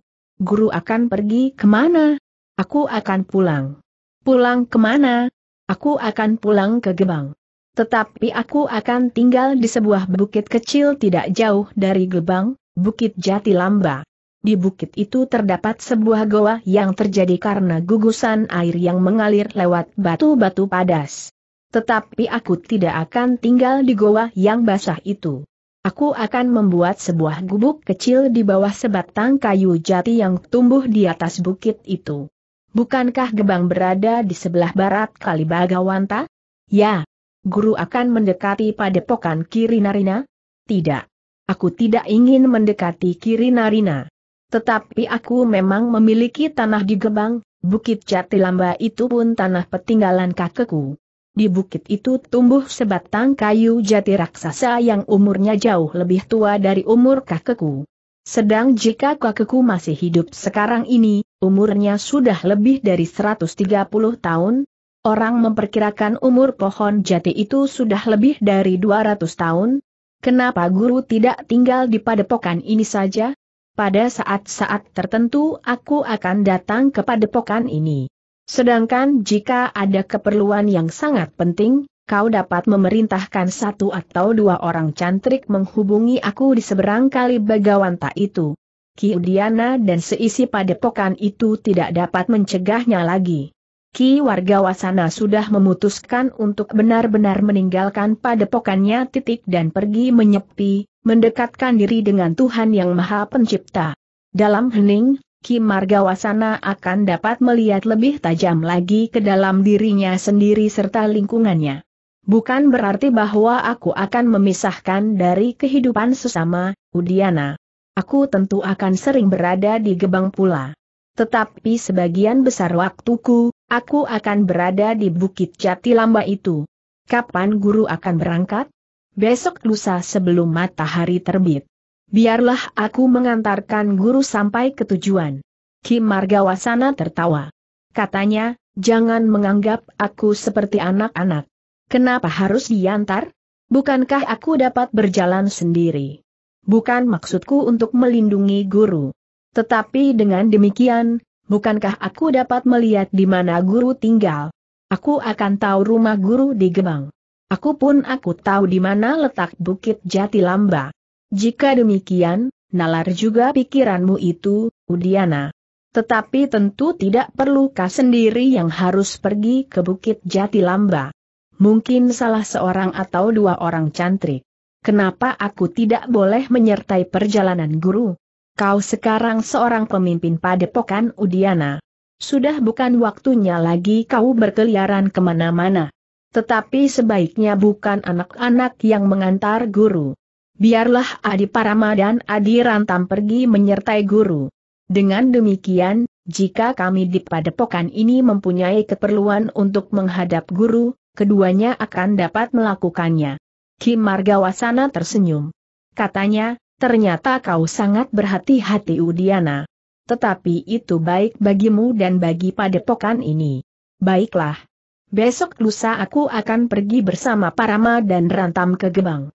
Biarlah aku panggil Adi Parama dan Adi Rantam. Baiklah. Tetapi kau sendiri harus selalu berada di padepokan ini, Udiana. Mungkin pada satu saat kau benar-benar harus pergi. Tetapi tentu tidak akan terlalu lama mungkin ada persoalan-persoalan penting yang harus segera dipecahkan. Mungkin ada bahaya yang besar yang mengancam padepokan ini yang harus ditanggapi dengan cepat. Nah, jika kau tidak berada di padepokan, maka persoalannya akan berbeda dengan jika kau sendiri yang menanganinya. Ya, guru. Aku mengerti. Nah, biarlah aku berbicara dengan Parama dan Rantam. Ki Udayana pun kemudian telah memanggil Parama dan Rantam serta Windu untuk datang menghadap gurunya beberapa saat kemudian, mereka berempat telah menghadap Ki Margawasana. Bahkan kemudian murid bungsunya pun telah dipanggilnya pula. Besok lusa aku akan meninggalkan padepokan ini berkata Ki Margawasana, aku akan berangkat pagi-pagi sekali. Murid-muridnya yang menghadap itu pun mendengarkannya dengan saksama. Udiana menginginkan agar ada di antara kalian yang pergi bersamaku. Menurut Udiana mereka yang akan pergi bersamaku itu tidak untuk melindungi aku di perjalanan, tetapi mereka yang pergi bersamaku akan dapat mengetahui tempat tinggalku di Gebang, di seberang kali Bagawanta. Mereka pun akan melihat bukit kecil yang disebut Bukit Jati Lamba. Di bukit itu aku akan menyepi, mendekatkan diri kepada Yang Maha Agung. Bukan berarti bahwa aku akan memisahkan diri dari kehidupan sesama, karena aku masih akan sering pulang ke Gebang dan bahkan aku juga akan sering mengunjungi padepokan ini. Tetapi pada saat-saat tertentu, di Jati Lamba aku dapat dalam hening menjalani laku untuk semakin mendekatkan diriku pada Tuhan Yang Maha Pencipta. Murid-muridnya masih tetap mendengarkannya dengan sungguh-sungguh. Baru kemudian Kim Margawasana pun berkata, menurut pertimbangan Udiana, Parama dan Rantamlah yang akan pergi bersamaku, sementara Windu dan Wikan akan tetap berada di padepokan bersama Udiana. Parama dan Rantam mengangkat wajahnya sejenak. Namun sejenak kemudian mereka pun menunduk lagi. Dengan nada suara yang berat Parama pun berkata, kami akan mengemban tugas apa pun yang dibebankan kepada kami. Baiklah Parama. Bersiap-siaplah bersama Rantam. Kalian akan pergi bersamaku besok lusa ke Gebang dan kemudian ke Bukit Jati Lamba. Baik, guru jawab keduanya hampir bersamaan.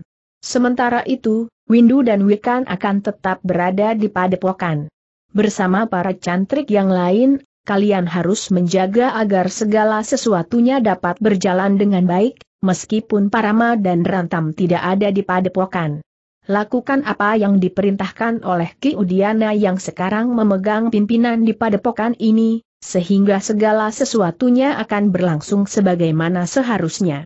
Baik, Guru jawab Windu dan Wikan berbareng.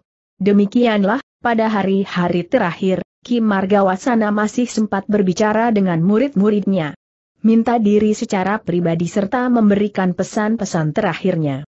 Ketika hari yang ditentukan itu tiba, maka seluruh murid perguruan Udiana yang kemudian dipimpin oleh Ki Udiana itu berkumpul di halaman. Ki Margawasana masih berbicara beberapa patah kata kepada mereka. Bukan satu perpisahan. Aku akan tetap sering datang kemari. Aku tidak dapat berpsiah dengari padepokan ini. Ki Margawasana pun sempat minta diri kepada Nyi Udiana dan kepada Tanjung. Namun ketika Ki Margawasana itu menyentuh pit-pit tatak, maka anak itu pun segera menangis sejadi-jadinya. Tidak biasanya begitu desis Nyi Udiana, Tatak sudah kenal dengan baik dengan Ki Margawasana. Tatak tidak pernah menjadi ketakutan jika Ki Margawasana datang kepadanya. Bahkan sekali-sekali Ki Margawasana itu pun telah mendukungnya. Tetapi ketika Ki Margawasana menyentuhnya untuk minta diri, maka untuk itu pun menangis. Seolah-olah anak itu tahu bahwa guru akan meninggalkannya berkata Nyi Udiana. Jaga anak ini baik-baik. Tuntunnya melalui jalan yang benar. Tangisnya adalah pertanda keperkasaannya. Karena itu, maka kelak ia harus berpijak pada jalan kebenaran yang berkiblat kepada kebenaran. Ya, Guru mohon doa restu, agar kami dapat mengasuhnya sebagaimana seharusnya. Kim Margawasana mengangguk-angguk. Sementara itu Tanjung berusaha untuk menenangkan anaknya yang berada di gendongannya itu. Namun Tanjung tahu benar bahwa anak itu bukan anaknya. Tanjung tidak tahu, jenis benih seperti apa yang kemudian tumbuh menjadi bayi itu. Apakah benih itu pernah dinodai oleh sifat-sifat buruk seseorang? Tetapi bayi adalah kain putih. Segala sesuatu tergantung kepada mereka yang akan menggoreskan garis dan warna dan bahkan bentuk pada kain yang putih itu berkata Tanjung di dalam hati. Meskipun demikian ada juga kecemasan Tanjung akan sifat dan jenis kain yang berwarna putih itu sendiri. Apakah serat-seratnya lembut dan lunak, atau kaku dan tajam, Sebagaimana tangis tata itu yang sudah dibawanya pada saat ia lahir. Tangis seperti itu tidak terdapat pada anak-anak yang lain. Semoga ramalan banyak orang itu benar, bahwa tangis tata adalah pertanda baik, asal ia diasuh dengan baik dan benar. Beban itulah yang harus diusung oleh Tanjung. Tetapi di padepokan itu Tanjung tidak mengasuhnya sendiri. Nyi Udiana, Wikan dan bahkan Ki Udiana akan ikut mengasuhnya pula. Bahkan para cantrik yang ada di padepokan itu, rasa-rasanya menaruh perhatian yang khusus kepada Tatak. Ketika langit menjadi semakin cerah, maka Ki Margawasana pun melangkah keluar dari gerbang padepokan diiringi oleh Parama dan Rantam. Sementara itu Ki Udiana, Nyi Udiana, Windu, Wikan serta Tanjung yang menggendong Tatak berdiri di pintu gebang, Sementara para cantrik yang lain menebar di luar gebang, sementara para cantrik yang lain menebar di luar gerbang. Mereka melepas guru mereka yang sudah bertahun-tahun menjadi pemimpin di padepokan itu. Kim Margawasana menolak untuk membawa seekor kuda. Ia lebih senang berjalan kaki saja. Sejak hari itu Ki Udiana pun sepenuhnya memimpin padepokan yang juga disebut padepokan Udiana padepokan yang diharapkan menjadi sebuah taman kebaikan dengan bunganya yang beraneka. Bunga yang diharapkan akan dapat menebarkan bau harum ke segala penjuru. Bunga yang kehilangan harumnya, maka ia adalah wadak yang kehilangan rohnya berkata Ki Udiana kepada para cantrik di padepokannya. Demikianlah dari hari ke hari, Ki Udiana berusaha untuk meningkatkan apa yang sudah ada di padepokannya tempat-tempat kerja dan tempat-tempat untuk berlatih. Yang terbuka maupun yang tertutup. Dalam pada itu, lewat sepekan, maka Ki Parama dan Ki Rantam pun sudah kembali. Mereka menceritakan tentang rumah peninggalan leluhur Ki Margawasana. Bahkan tanahnya yang luas, yang meliputi Bukit Jatilamba, bukit kecil yang di alasnya tumbuh sebatang saja pohon jati raksasa yang sudah berumur sangat tua. Namun pohon jati itu masih nampak subur. Dahan-dahannya, ranting-rantingnya dan bahkan tangkai daun-daunnya nampak masih tetap kokoh bertumpu pada akarnya yang jauh menghunjam ke dalam bumi di atas bukit kecil itu. Tetapi di atas bukit itu tidak hanya terdapat sebatang pohon raksasa saja. Masih ada jenis pepohonan yang lain. Sebatang pohon preh, pohon cangkring tua serta pohon nyemplung sepasang. Bahkan ada beberapa pohon gayam yang berdiri berjajar di sebelah jalan setapak untuk naik ke puncak bukit kecil itu. Di kaki bukit itu terdapat sendang yang airnya sangat jernih. Mata airnya terhitung deras. Luapannya mengalir mengairi sawah berbahu-bahu di sekitar bukit kecil itu. Sebuah tempat yang sangat menarik, Kakang berkata Kirantam, rasa-rasanya aku tidak ingin beranjak dari tempat itu. Tetapi guru memerintahkan aku segera kembali ke padepokan. Menarik sekali.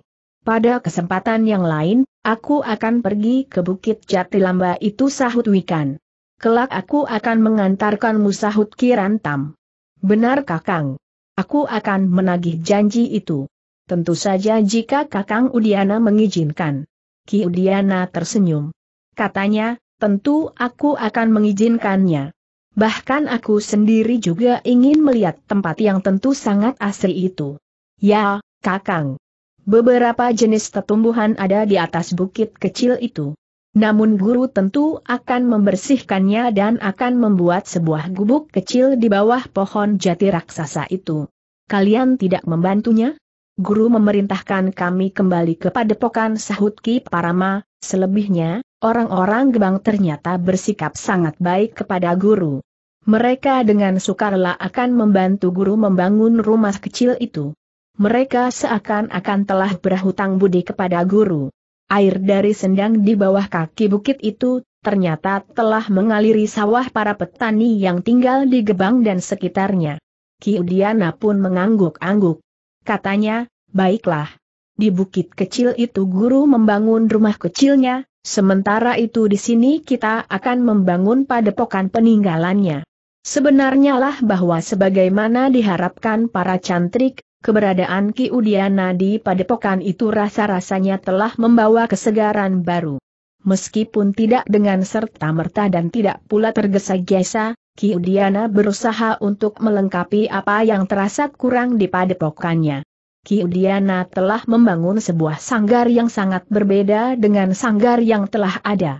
Sanggar itu memang tidak terlalu besar, tetapi bangunannya nampak kokoh. Tiang-tiangnya yang tinggi menumpang atapnya yang terbuat dari ijuk. Wikan yang menganggap sanggar itu terlalu tinggi, bertanya kepada Ki Udiana, Paman, apakah sanggar ini tidak terlalu tinggi dibanding dengan luasnya? Sanggar ini memang harus tinggi, Wikan. Di dalam sanggar ini tidak akan ada isinya apa-apa selain sebuah hamben kecil di tengah-tengahnya.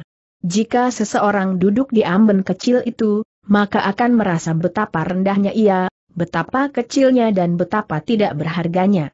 Wikan menarik nafas dalam-dalam. Sambil mengangguk ia pun berdesis, aku mengerti paman. Mudah-mudahan sanggar itu akan dapat memperingatkan orang yang ada di dalamnya untuk meredam kesombongannya.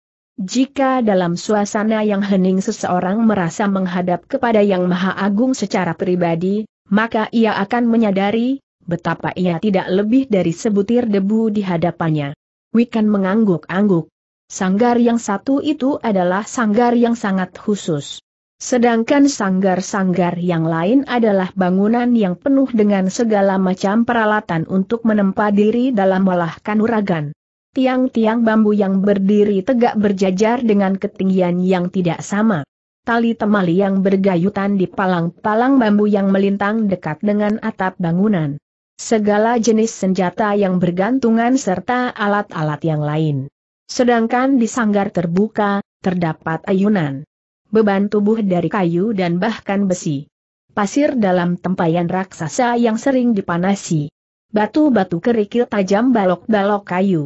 Tetapi suasananya menjadi sangat bertentangan dan bahkan bertolak belakang dengan suasana dalam sanggar yang satu itu.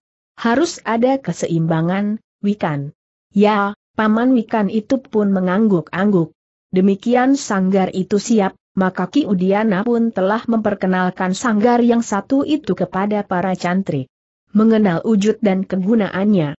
Menembus kekesadaran akan arti keseimbangan dalam kehidupan antara yang lahiriah dan yang batiniah. Aku berharap agar kalian mengenal dan siap untuk mempergunakan sanggar yang satu ini sebagaimana kalian mempergunakan sanggar-sanggar yang lain. Yang tertutup maupun yang terbuka. Ternyata bahwa pernyataan Ki Udiana itu mendapat tanggapan dari para cantrik di padepokan itu. Hampir setiap saat, sanggar itu pun berisi. Hanya satu orang. Bergantian. Dalam pada itu, kehidupan di padepokan itu pun kian menjadi cerah. Para cantrik semakin menekuni kerja mereka. Berlatih, bekerja di berbagai bidang tugas.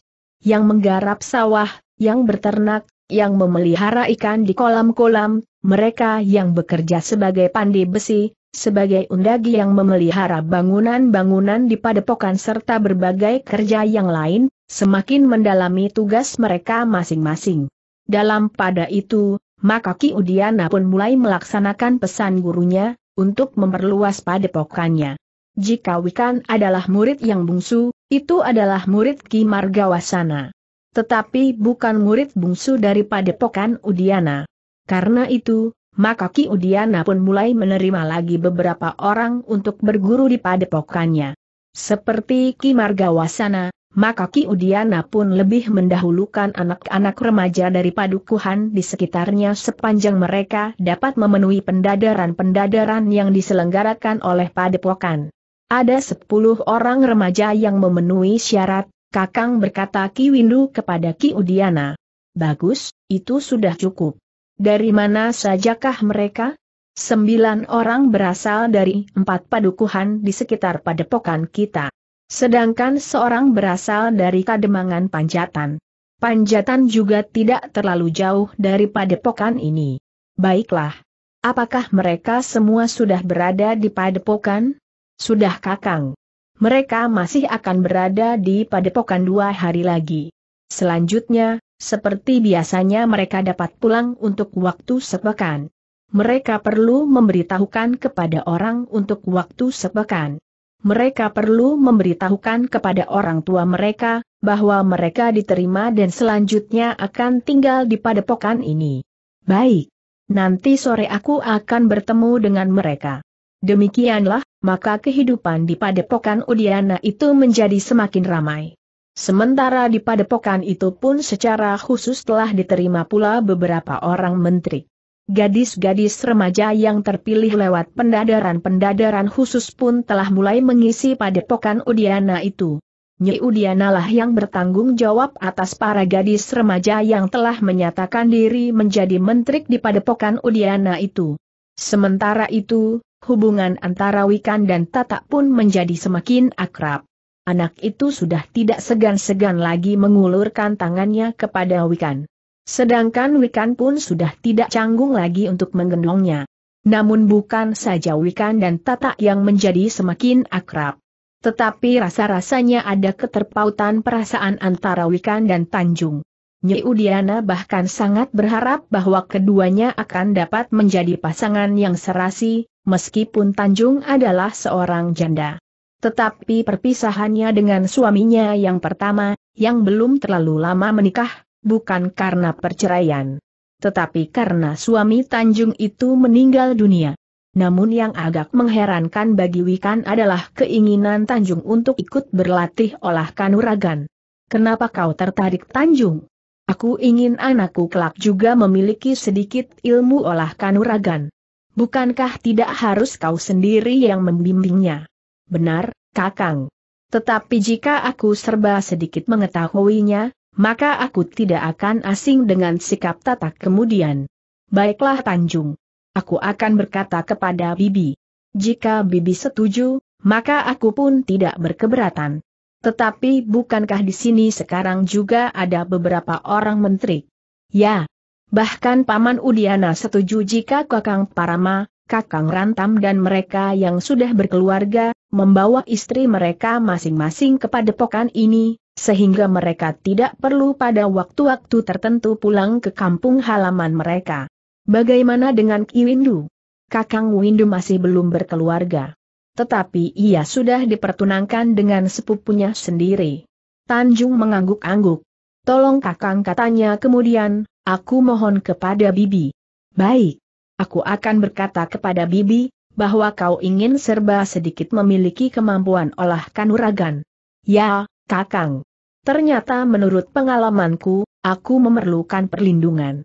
Jika serba sedikit aku memiliki kemampuan olah kanuragan, maka aku tidak setiap kali memerlukan pertolongan orang lain.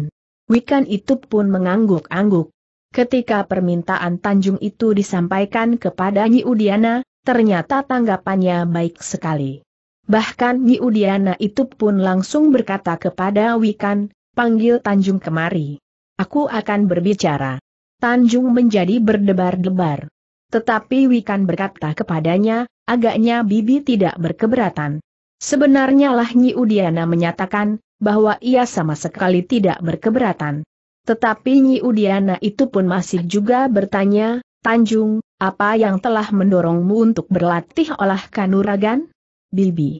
Bukankah tata kelak diharapkan untuk menjadi seorang anak muda yang memiliki kemampuan yang memadai? Untuk membentuknya menjadi seorang anak yang siap untuk ditempa dalam olah kanuragan, maka aku pun harus ikut mempersiapkannya. Aku tidak ingin menjadi orang asing bagi anakku.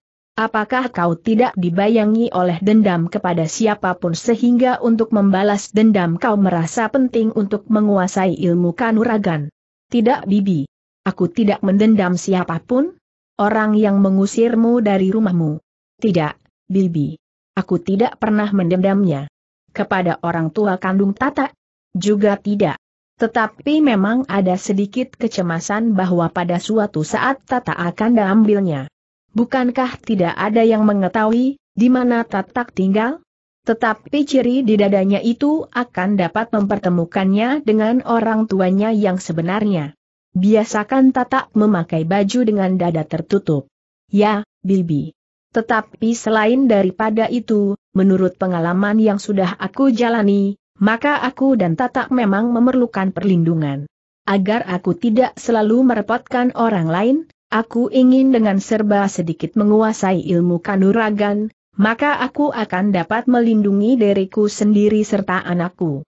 Nyi Udiana tersenyum. Katanya, baiklah Tanjung. Kau akan menjadi muridku yang khusus.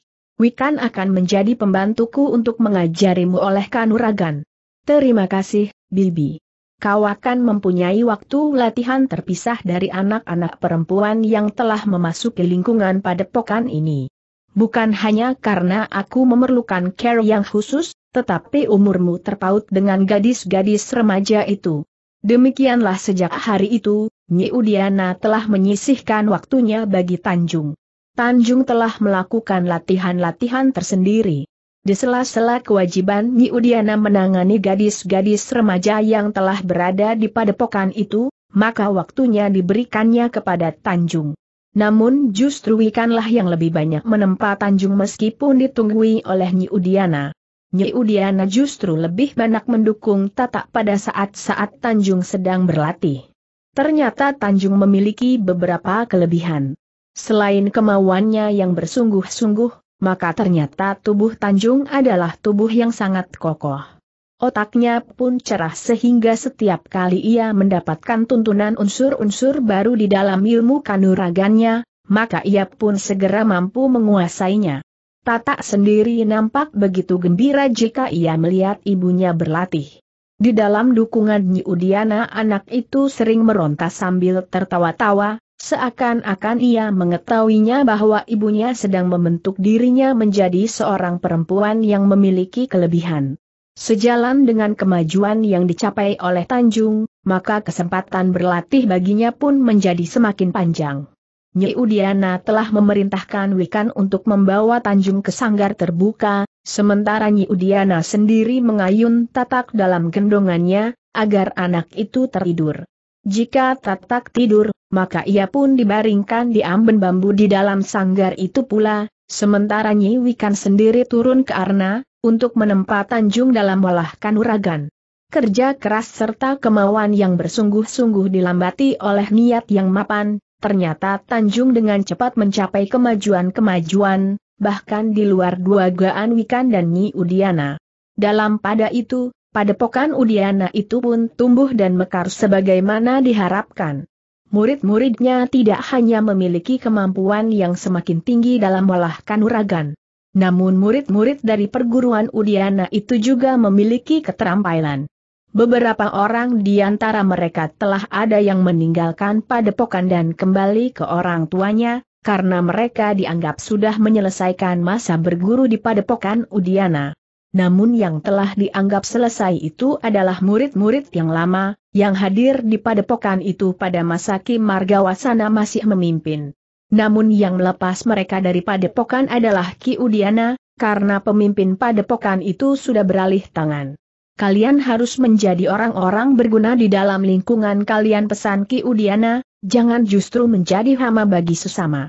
Kalian harus selalu ingat pada saat-saat kalian melakukan pendadaran untuk memasuki padepokan ini sebagaimana juga dengan aku sendiri. Kalian pun harus selalu ingat akan segala pesan-pesan Ki Margawasana. Yang penting, lakukan sesuai dengan janji kalian. Karena jika tidak ada satunya kata dan perbuatan, maka sebenarnya lah kalian tidak mempunyai nilai yang pantas menurut pandangan sesama kalian.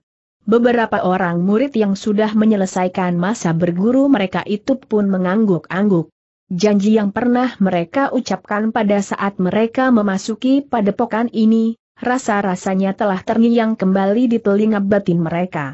Di antara mereka yang akan meninggalkan padepokan itu dan kembali ke rumah mereka masing-masing adalah Murdaka. Demikianlah maka murid-murid yang sudah dilepas itu, akan meninggalkan padepokan itu di keesokan harinya.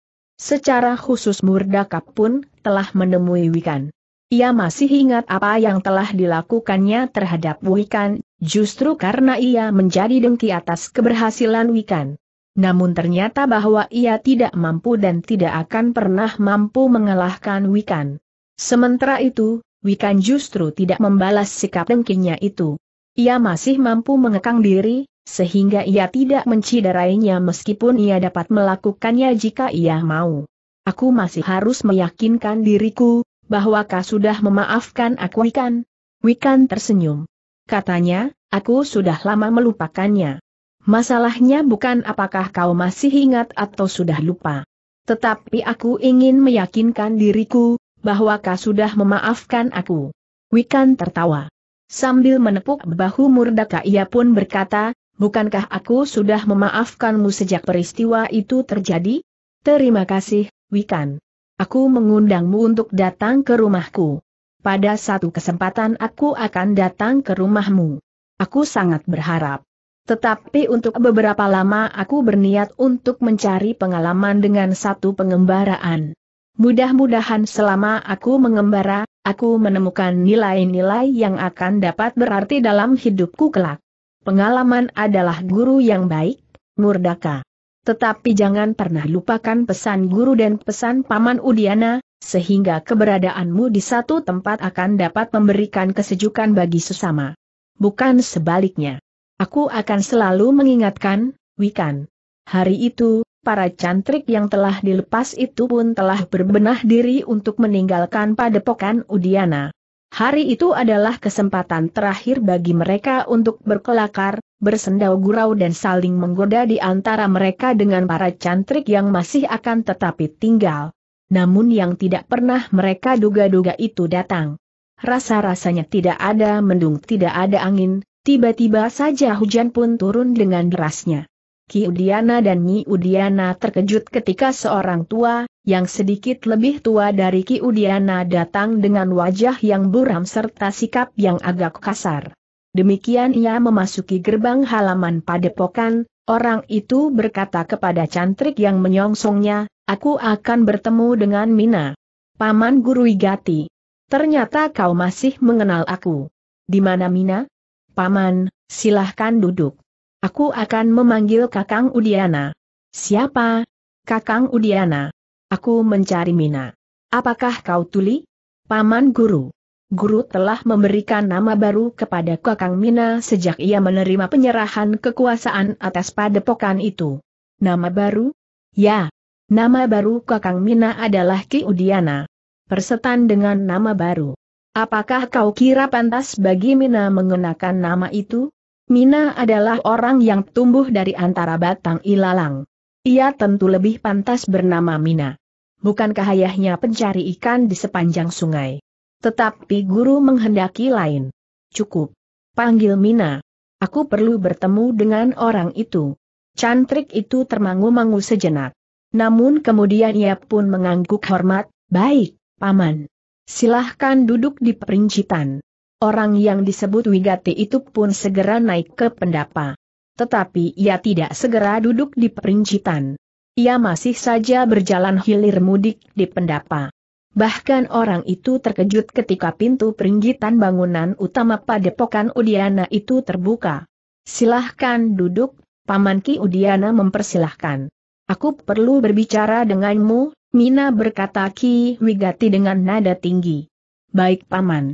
Tetapi silahkan duduk. Ki Wigati itu pun kemudian duduk di peringgitan bersama Ki Udiana. Dengan ramah Ki Udiana itu pun bertanya, bagaimana kabar paman sekeluarga selama ini? Bukankah baik-baik saja? Mina berkata Ki Wigati seakan-akan tidak mendengar pertanyaan Ki Udiana, Aku datang untuk meluruskan kesalahan yang telah dilakukan oleh Kakang Margawasana. Kesalahan yang mana? Paman bertanya Ki Udiana. Jangan berpura-pura. Aku benar-benar tidak mengerti. Mina. Apakah matamu buta dan telingamu tulis sehingga kau tidak tahu kesalahan yang telah dibuat oleh Kakang Margawasana di saat-saat terakhirnya memegang pimpinan di padepokan ini? Maaf Paman. Aku memang tidak mengetahuinya. Tetapi seandainya guru melakukan kesalahan, paman masih dapat menemuinya dan membicarakannya dengan guru. Ada dua orang saudaraku yang sudah mengetahui di mana guru berada demikian guru meninggalkan padepokan ini. Kenapa aku harus pergi ke mana-mana? Bagiku, aku dapat langsung menemuimu dan membicarakannya tanpa kakang margawasana aku akan berbicara sebagai orang kedua di padepokan ini setelah Kakang Margawasana. Apa sebenarnya yang akan Paman katakan? Aku minta kau dan istrimu pergi dari padepokan ini. Aku adalah adik seperguruan Kakang Margawasana. Aku adalah orang kedua setelah Kakang Margawasana. Tetapi Kakang Margawasana telah melupakan aku. Bahkan Kakang menganggap seakan-akan aku tidak ada. Jika Kakang Margawasana merasa letih memimpin padepokan ini, kemudian Kakang Margawasana ingin beristirahat, seharusnya Kakang Margawasana menyerahkannya kepadaku. Tidak kepadamu. Kau pun harus tahu diri, bahwa kau tidak berhak untuk memimpin padepokan ini apalagi dengan mengganti nama dengan nama yang tidak akan dapat kau usung di atas kepalamu, karena nama itu sangat tidak pantas bagimu. Bagi anak pinggir kali anak seorang pencari ikan di sela-sela batu padas di sepanjang sungai. Paman. Paman boleh menghina aku. Apalagi apa yang paman katakan itu benar, bahwa aku adalah anak pinggir kali, anak seorang pencari ikan, sehingga nama yang diberikan kepadaku sangat sederhana dan mencerminkan pergulatan ayahku setiap hari. Mina. Tetapi hendaknya paman jangan menyalahkan guru. Bukan berarti bahwa aku akan mempertahankan kedudukan yang diwariskan oleh guru kepadaku. Tetapi segala sesuatunya dapat dibicarakan dengan baik. Aku minta paman menemui guru. Biarlah aku dan Adi Rantam atau Adi Parama mengantar paman ke rumah guru di Gebang atau di Bukit Jati Lamba.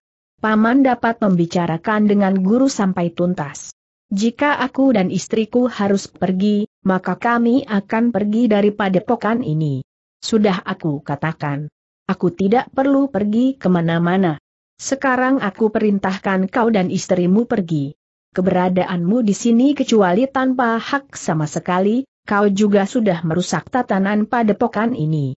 Menurut pendengaranku, istrimu telah menerima beberapa menteri. Gadis-gadis remaja itu kau biarkan tinggal di padepokan ini bersama-sama dengan anak-anak muda. Paman, jika itu kami lakukan, maka kami pun harus mempertanggungjawabkannya. Istriku bertanggung jawab terhadap gadis-gadis remaja yang berada di padepokan ini. Istriku telah membangun dinding bambu yang kokoh dan tinggi, sebagai batas lingkungan para cantrik dengan para menteri. Istriku akan mempertanggungjawabkan mereka terhadap orang tua mereka, yang telah mempercayakan anak-anaknya berada di padepokan ini. Kau tidak usah omong kosong seperti itu. Kenapa kau tidak melihat ketengkutmu sendiri? Kau dan istrimu itu, Hubunganmu dan istrimu itu lelah menodai perguruan kita pada waktu itu. Tidak. Guru merestui hubungan kami. Guru pula yang menjadi salah seorang saksi pernikahan kami. Aku tahu, Paman memang tidak setuju. Tetapi bukan karena tatanan padepokan ini menjadi kabur. Tetapi Paman mempunyai maksud-maksud yang lain. Cukup. Kau lebih baik diam Mina, daripada aku mengoyak mulutmu. Sudahlah, Paman. Aku tidak ingin terjadi perselisihan di antara keluarga sendiri. Jika Paman menganggap guru bersalah, silahkan menemuinya. Aku akan bersedia mengantarkan Paman. Aku tidak mau, kau dengar. Aku mau kau dan istrimu pergi. Hari ini juga. Akulah yang berhak atas padepokan ini, karena aku adalah orang kedua setelah Kakang Margawasana. Tetapi paman harus bertemu dan berbicara dahulu dengan guru. Tidak perlu. Sekarang kemasi barang-barangmu dan tinggalkan tempat ini. Aku akan datang bersama murid-muridku untuk menempati padepokan ini. Padepokan ini cukup luas, sehingga akan dapat menampung murid-murid seisi padepokanku. Pada kesempatan yang lain, kami akan membawa barang-barang kami dan seisi padepokan kami kemari. Paman. Persoalannya tidak begitu sederhana. Jika paman membawa murid-murid seisi padepokan paman itu kemari, maka padepokan ini tentu tidak akan dapat menampung. Sekarang saja terasa padepokan ini sudah terlalu padat. Aku akan mengusir perempuan-perempuan itu dari padepokan ini. Jumlah mereka hanya sedikit, paman. Seandainya mereka harus pergi, pengaruhnya tidak akan terlalu banyak. Seperti yang pernah dikatakannya, maka Ki Margawasana itu pun kemudian telah minta diri kepada Ki Udiana serta para penghuni padepokan itu untuk menyepi. Aku akan mengaturnya. Setiap bangunan di padepokan ini harus dimanfaatkan dengan baik. Bangunan utama ini dapat dipergunakan bagi para cantrik. Aku mohon paman tidak bertindak dengan tergesa-gesa. Bukankah hari-hari masih panjang, sehingga kita dapat berbicara dengan baik. Seandainya murid-murid paman harus ditampung di tempat ini, maka masih ada tanah-tanah yang kosong, sehingga masih dapat dibuat bangunan-bangunan baru. Tetapi tentu tidak dengan serta-merta, bahwa hari ini segala sesuatunya harus terlaksana. Jangan banyak bicara lagi, Mina. Waktuku tidak banyak. Aku beri kesempatan kau sehari ini. Malam nanti, kau dan keluargamu serta perempuan-perempuan yang ada di barak ini harus sudah pergi. Esok pagi-pagi, kami akan memasuki padepokan ini kami akan mengatur penempatan para cantrik yang aku bawa kemari, serta cantrik-cantrik yang sudah berada di padepokan ini. Paman. Kita harus membicarakannya dengan baik, Paman. Kita cari kemungkinan-kemungkinannya. Lebih daripada itu, Paman harus berbicara dengan guru. Hal itu mutlak harus Paman lakukan. Tidak perlu kau dengar. Hari ini kau harus pergi. Aku harus memikirkannya Paman. Jika Paman tidak mau menemui guru, biarlah aku yang akan melaporkannya. Tidak ada waktu. Waktumu hanya sehari ini. Jangan memaksa Paman. Apa? Kau menolak? Kau tahu, siapa aku? Paman guruku kau harus tunduk kepadaku, seperti kau harus tunduk kepada gurumu. Aku akan melakukannya paman. Mina akan tunduk kepada paman. Tetapi keberadaanku di sini sekarang adalah mengemban tugas yang dibebankan guru kepadaku. Jika perintah guru dan perintah paman bertentangan, maka aku akan lebih mematuhi perintah guru. Maksudmu? Guru memerintahkan agar aku memimpin padepokan ini sepeninggal guru. Aku hanya akan meninggalkan tugasku, jika guru sendiri yang memerintahkannya. Jadi kau tidak mau mendengarkan perintahku? Maaf paman. Hanya guru yang dapat memerintahkan aku pergi dari padepokan ini. Keparat kau, Mina. Apakah aku harus mengusirmu dengan kekerasan? Dengan care apa pun aku tidak akan pergi. Kau menantang aku, Mina? Tidak, paman. Jadi, kenapa kau tidak mau menjalankan perintahku? Ya hanya tidak mau begitu saja, karena bertentangan dengan perintah guru. Tetapi aku tidak menantang paman. Aku tahu, bahwa aku harus menghormati paman. Iblis laknat kau Mina. Terserah kepadamu. Jika esok pagi aku datang bersama murid-muridku dan kau masih berada di padepokan ini, maka aku akan mengusirmu dengan kekerasan. Jika kau tetap keras kepala, maka kau akan aku singkirkan meskipun bukan tujuanku untuk membunuhmu. Tetapi kau, istrimu dan perempuan-perempuan yang ada di padepokan ini harus bersih. Terserah saja kepada paman. Tetapi sekali lagi aku katakan, bahwa hanya guru sajalah yang dapat mengusirku dari padepokan ini. Ki Wigati itu pun kemudian bangkit berdiri. Tanpa berkata apa-apa lagi, Ki Wigati itu pun langsung melangkah meninggalkan Ki Udiana yang kemudian juga bangkit berdiri. Ki Udiana turun dari pendapa. Tetapi ia tidak melepas pamannya sampai kergol. Demikian Ki Wigati pergi, maka Nyi Udiana segera menemui suaminya yang masih berdiri di halaman. Aku mendengarkan pembicaraan kakang dari balik pintu. Paman Wigati mencari perkara.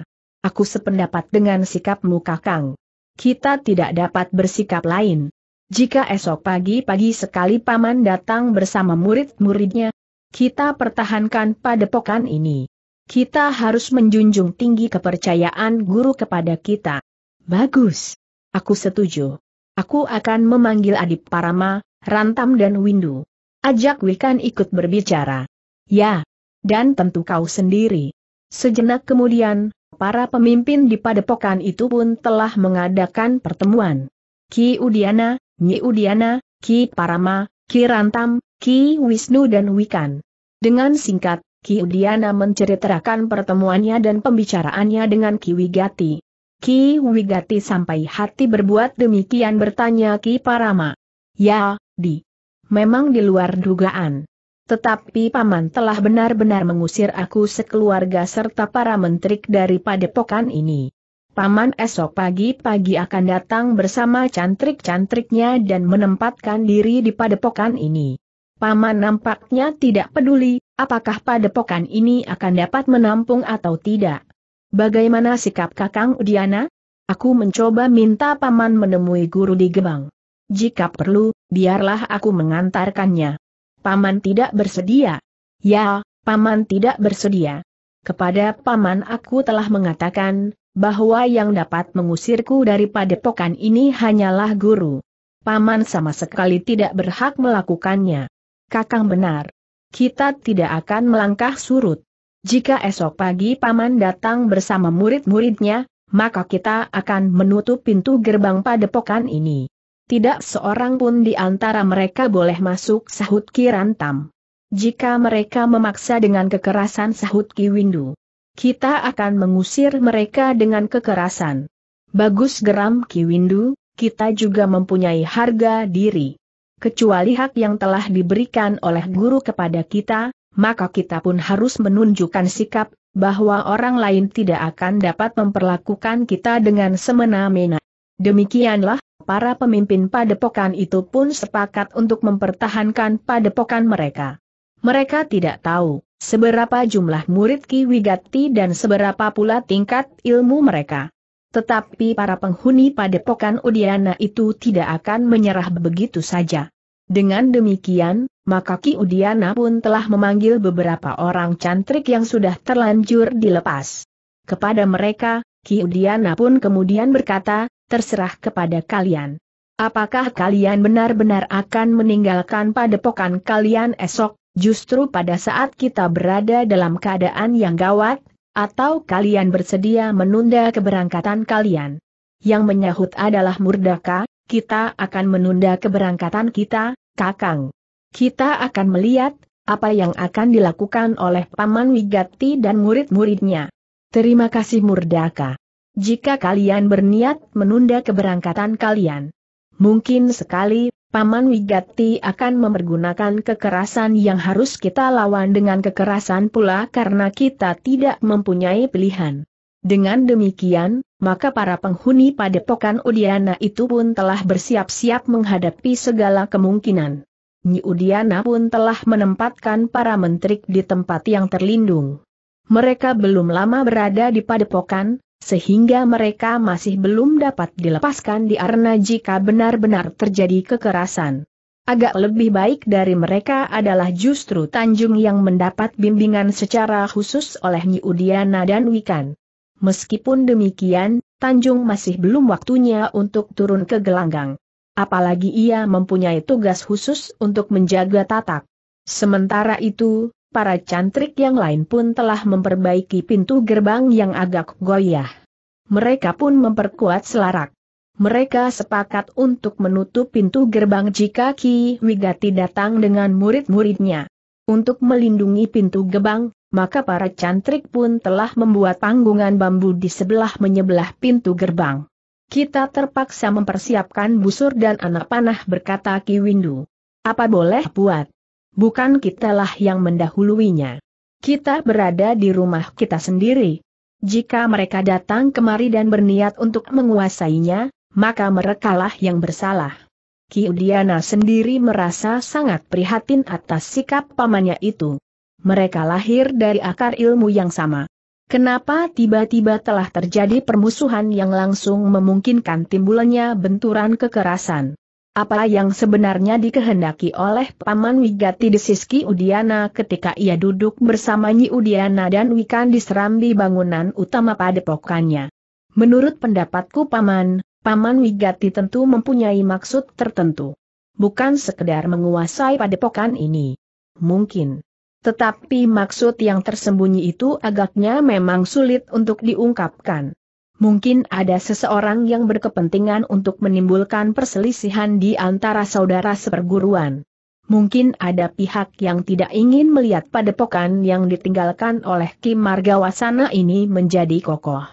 Memang sulit untuk meraba kepentingan yang sesungguhnya dari sikap Paman Wigati itu, Kakang Sahut Nyi Udiana, Mudah-mudahan besok kita mendapat penjelasan tentang hal itu. Ki Udiana mengangguk-angguk. Katanya, kita memang harus menunggu. Malam itu, para cantrik pun telah mendapat tugas baru. Bergantian mereka mengawasi setiap sudut padepokan. Dua orang cantrik berjaga-jaga di atas panggungan yang mereka buat di sebelah menyebelah pintu gerbang. Namun mereka pun telah membuat panggungan yang memanjang di sudut-sudut dinding padepokan. Ki Udiana memang harus menjadi sangat berhati-hati. Mereka tidak tahu kekuatan paman gurunya yang sebenarnya. Jika saja mereka datang dengan pasukan yang sangat besar, maka padepokan itu akan mengalami kesulitan. Namun Ki Udiana sudah bertekad untuk tidak beranjak dari padepokan itu. Demikian pula setiap orang penghuni padepokan itu. Apa pun yang akan terjadi, mereka harus mempertahankan padepokan mereka. Malam itu, Ki Udiana dan Nyi Udiana justru sulit untuk dapat tidur. Meskipun mereka berbaring di pembaringan, namun rasa-rasanya mereka tetap saja gelisah. Namun di dini hari, meskipun hanya sebentar, keduanya sempat juga memejamkan mata. Menjelang fajar, mereka telah terbangun para cantrik justru telah mempersiapkan diri menghadapi segala kemungkinan. Wikan pun telah berbenah. Demikian pula Ki Parama, Ki Rantam dan Ki Windu. Sementara itu, di dapur pun api telah menyala pula. Ketika bayangan fajar sudah nampak di langit, maka para cantrik pun telah selesai dengan makan pagi. Para pemimpin menganjurkan agar mereka makan sampai benar-benar kenyang tetapi tidak berlebihan. Kita tidak tahu, sampai kapan kita akan bertempur. Mungkin sehari penuh sehingga hari ini kita tidak sempat makan lagi. Menjelang fajar, maka Ki Parama, Ki Rantam dan Ki Windu pun sudah membagi diri di sisi kanan, sisi kiri dan mengawasi bagian belakang padepokan. Sedangkan Ki Udiana, Nyi Udiana dan Wikan akan berada di bagian depan. Para cantrik yang sudah tuntas dan sebenarnya sudah dilepas untuk meninggalkan padepokan itu, telah mempersiapkan diri pula sebaik-baiknya. Jika pintu gerbang itu akhirnya harus terbuka, maka mereka pun harus siap menyongsong lawan mereka yang belum mereka ketahui, tingkat kemampuan mereka. Namun Murdaka dan beberapa orang itu adalah murid-murid Kim Margawasana yang sudah menyelesaikan masa berguru mereka, sehingga mereka pun telah menguasai ilmu tertinggi dari padepokan Udiana. Tetapi seisi padepokan itu harus tetap berhati-hati.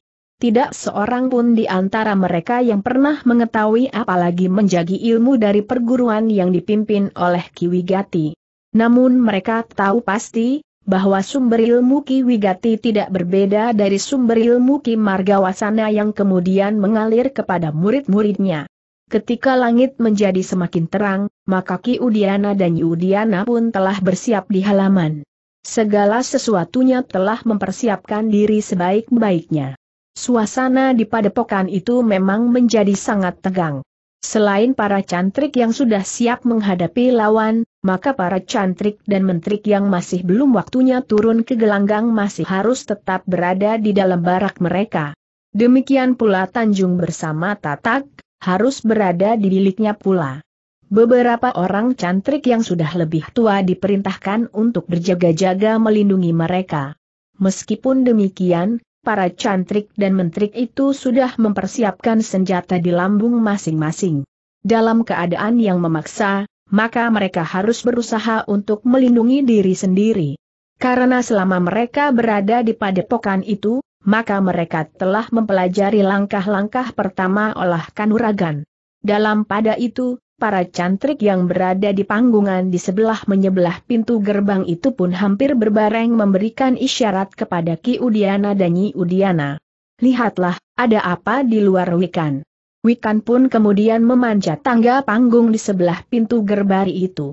Ketika ia berada di atas panggungan, maka dilihatnya Ki Wigati berjalan di padang rumput di luar padepokan itu, diiringi oleh murid-muridnya yang jumlahnya ternyata cukup banyak.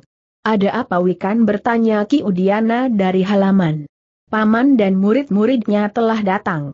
Ki Udiana dan Nyi Udiana itu pun segera memanjat naik pula. Keduanya saling berpandangan sejenak. Murid Ki Wigati yang dibawanya ternyata cukup banyak. Hampir dua kali lipat dengan murid-murid perguruan kita, Nyidesis Ki Udiana. Namun jumlah Nyi Udiana tegas, berapapun jumlah mereka, kita tidak akan beranjak dari tempat ini, Kakang.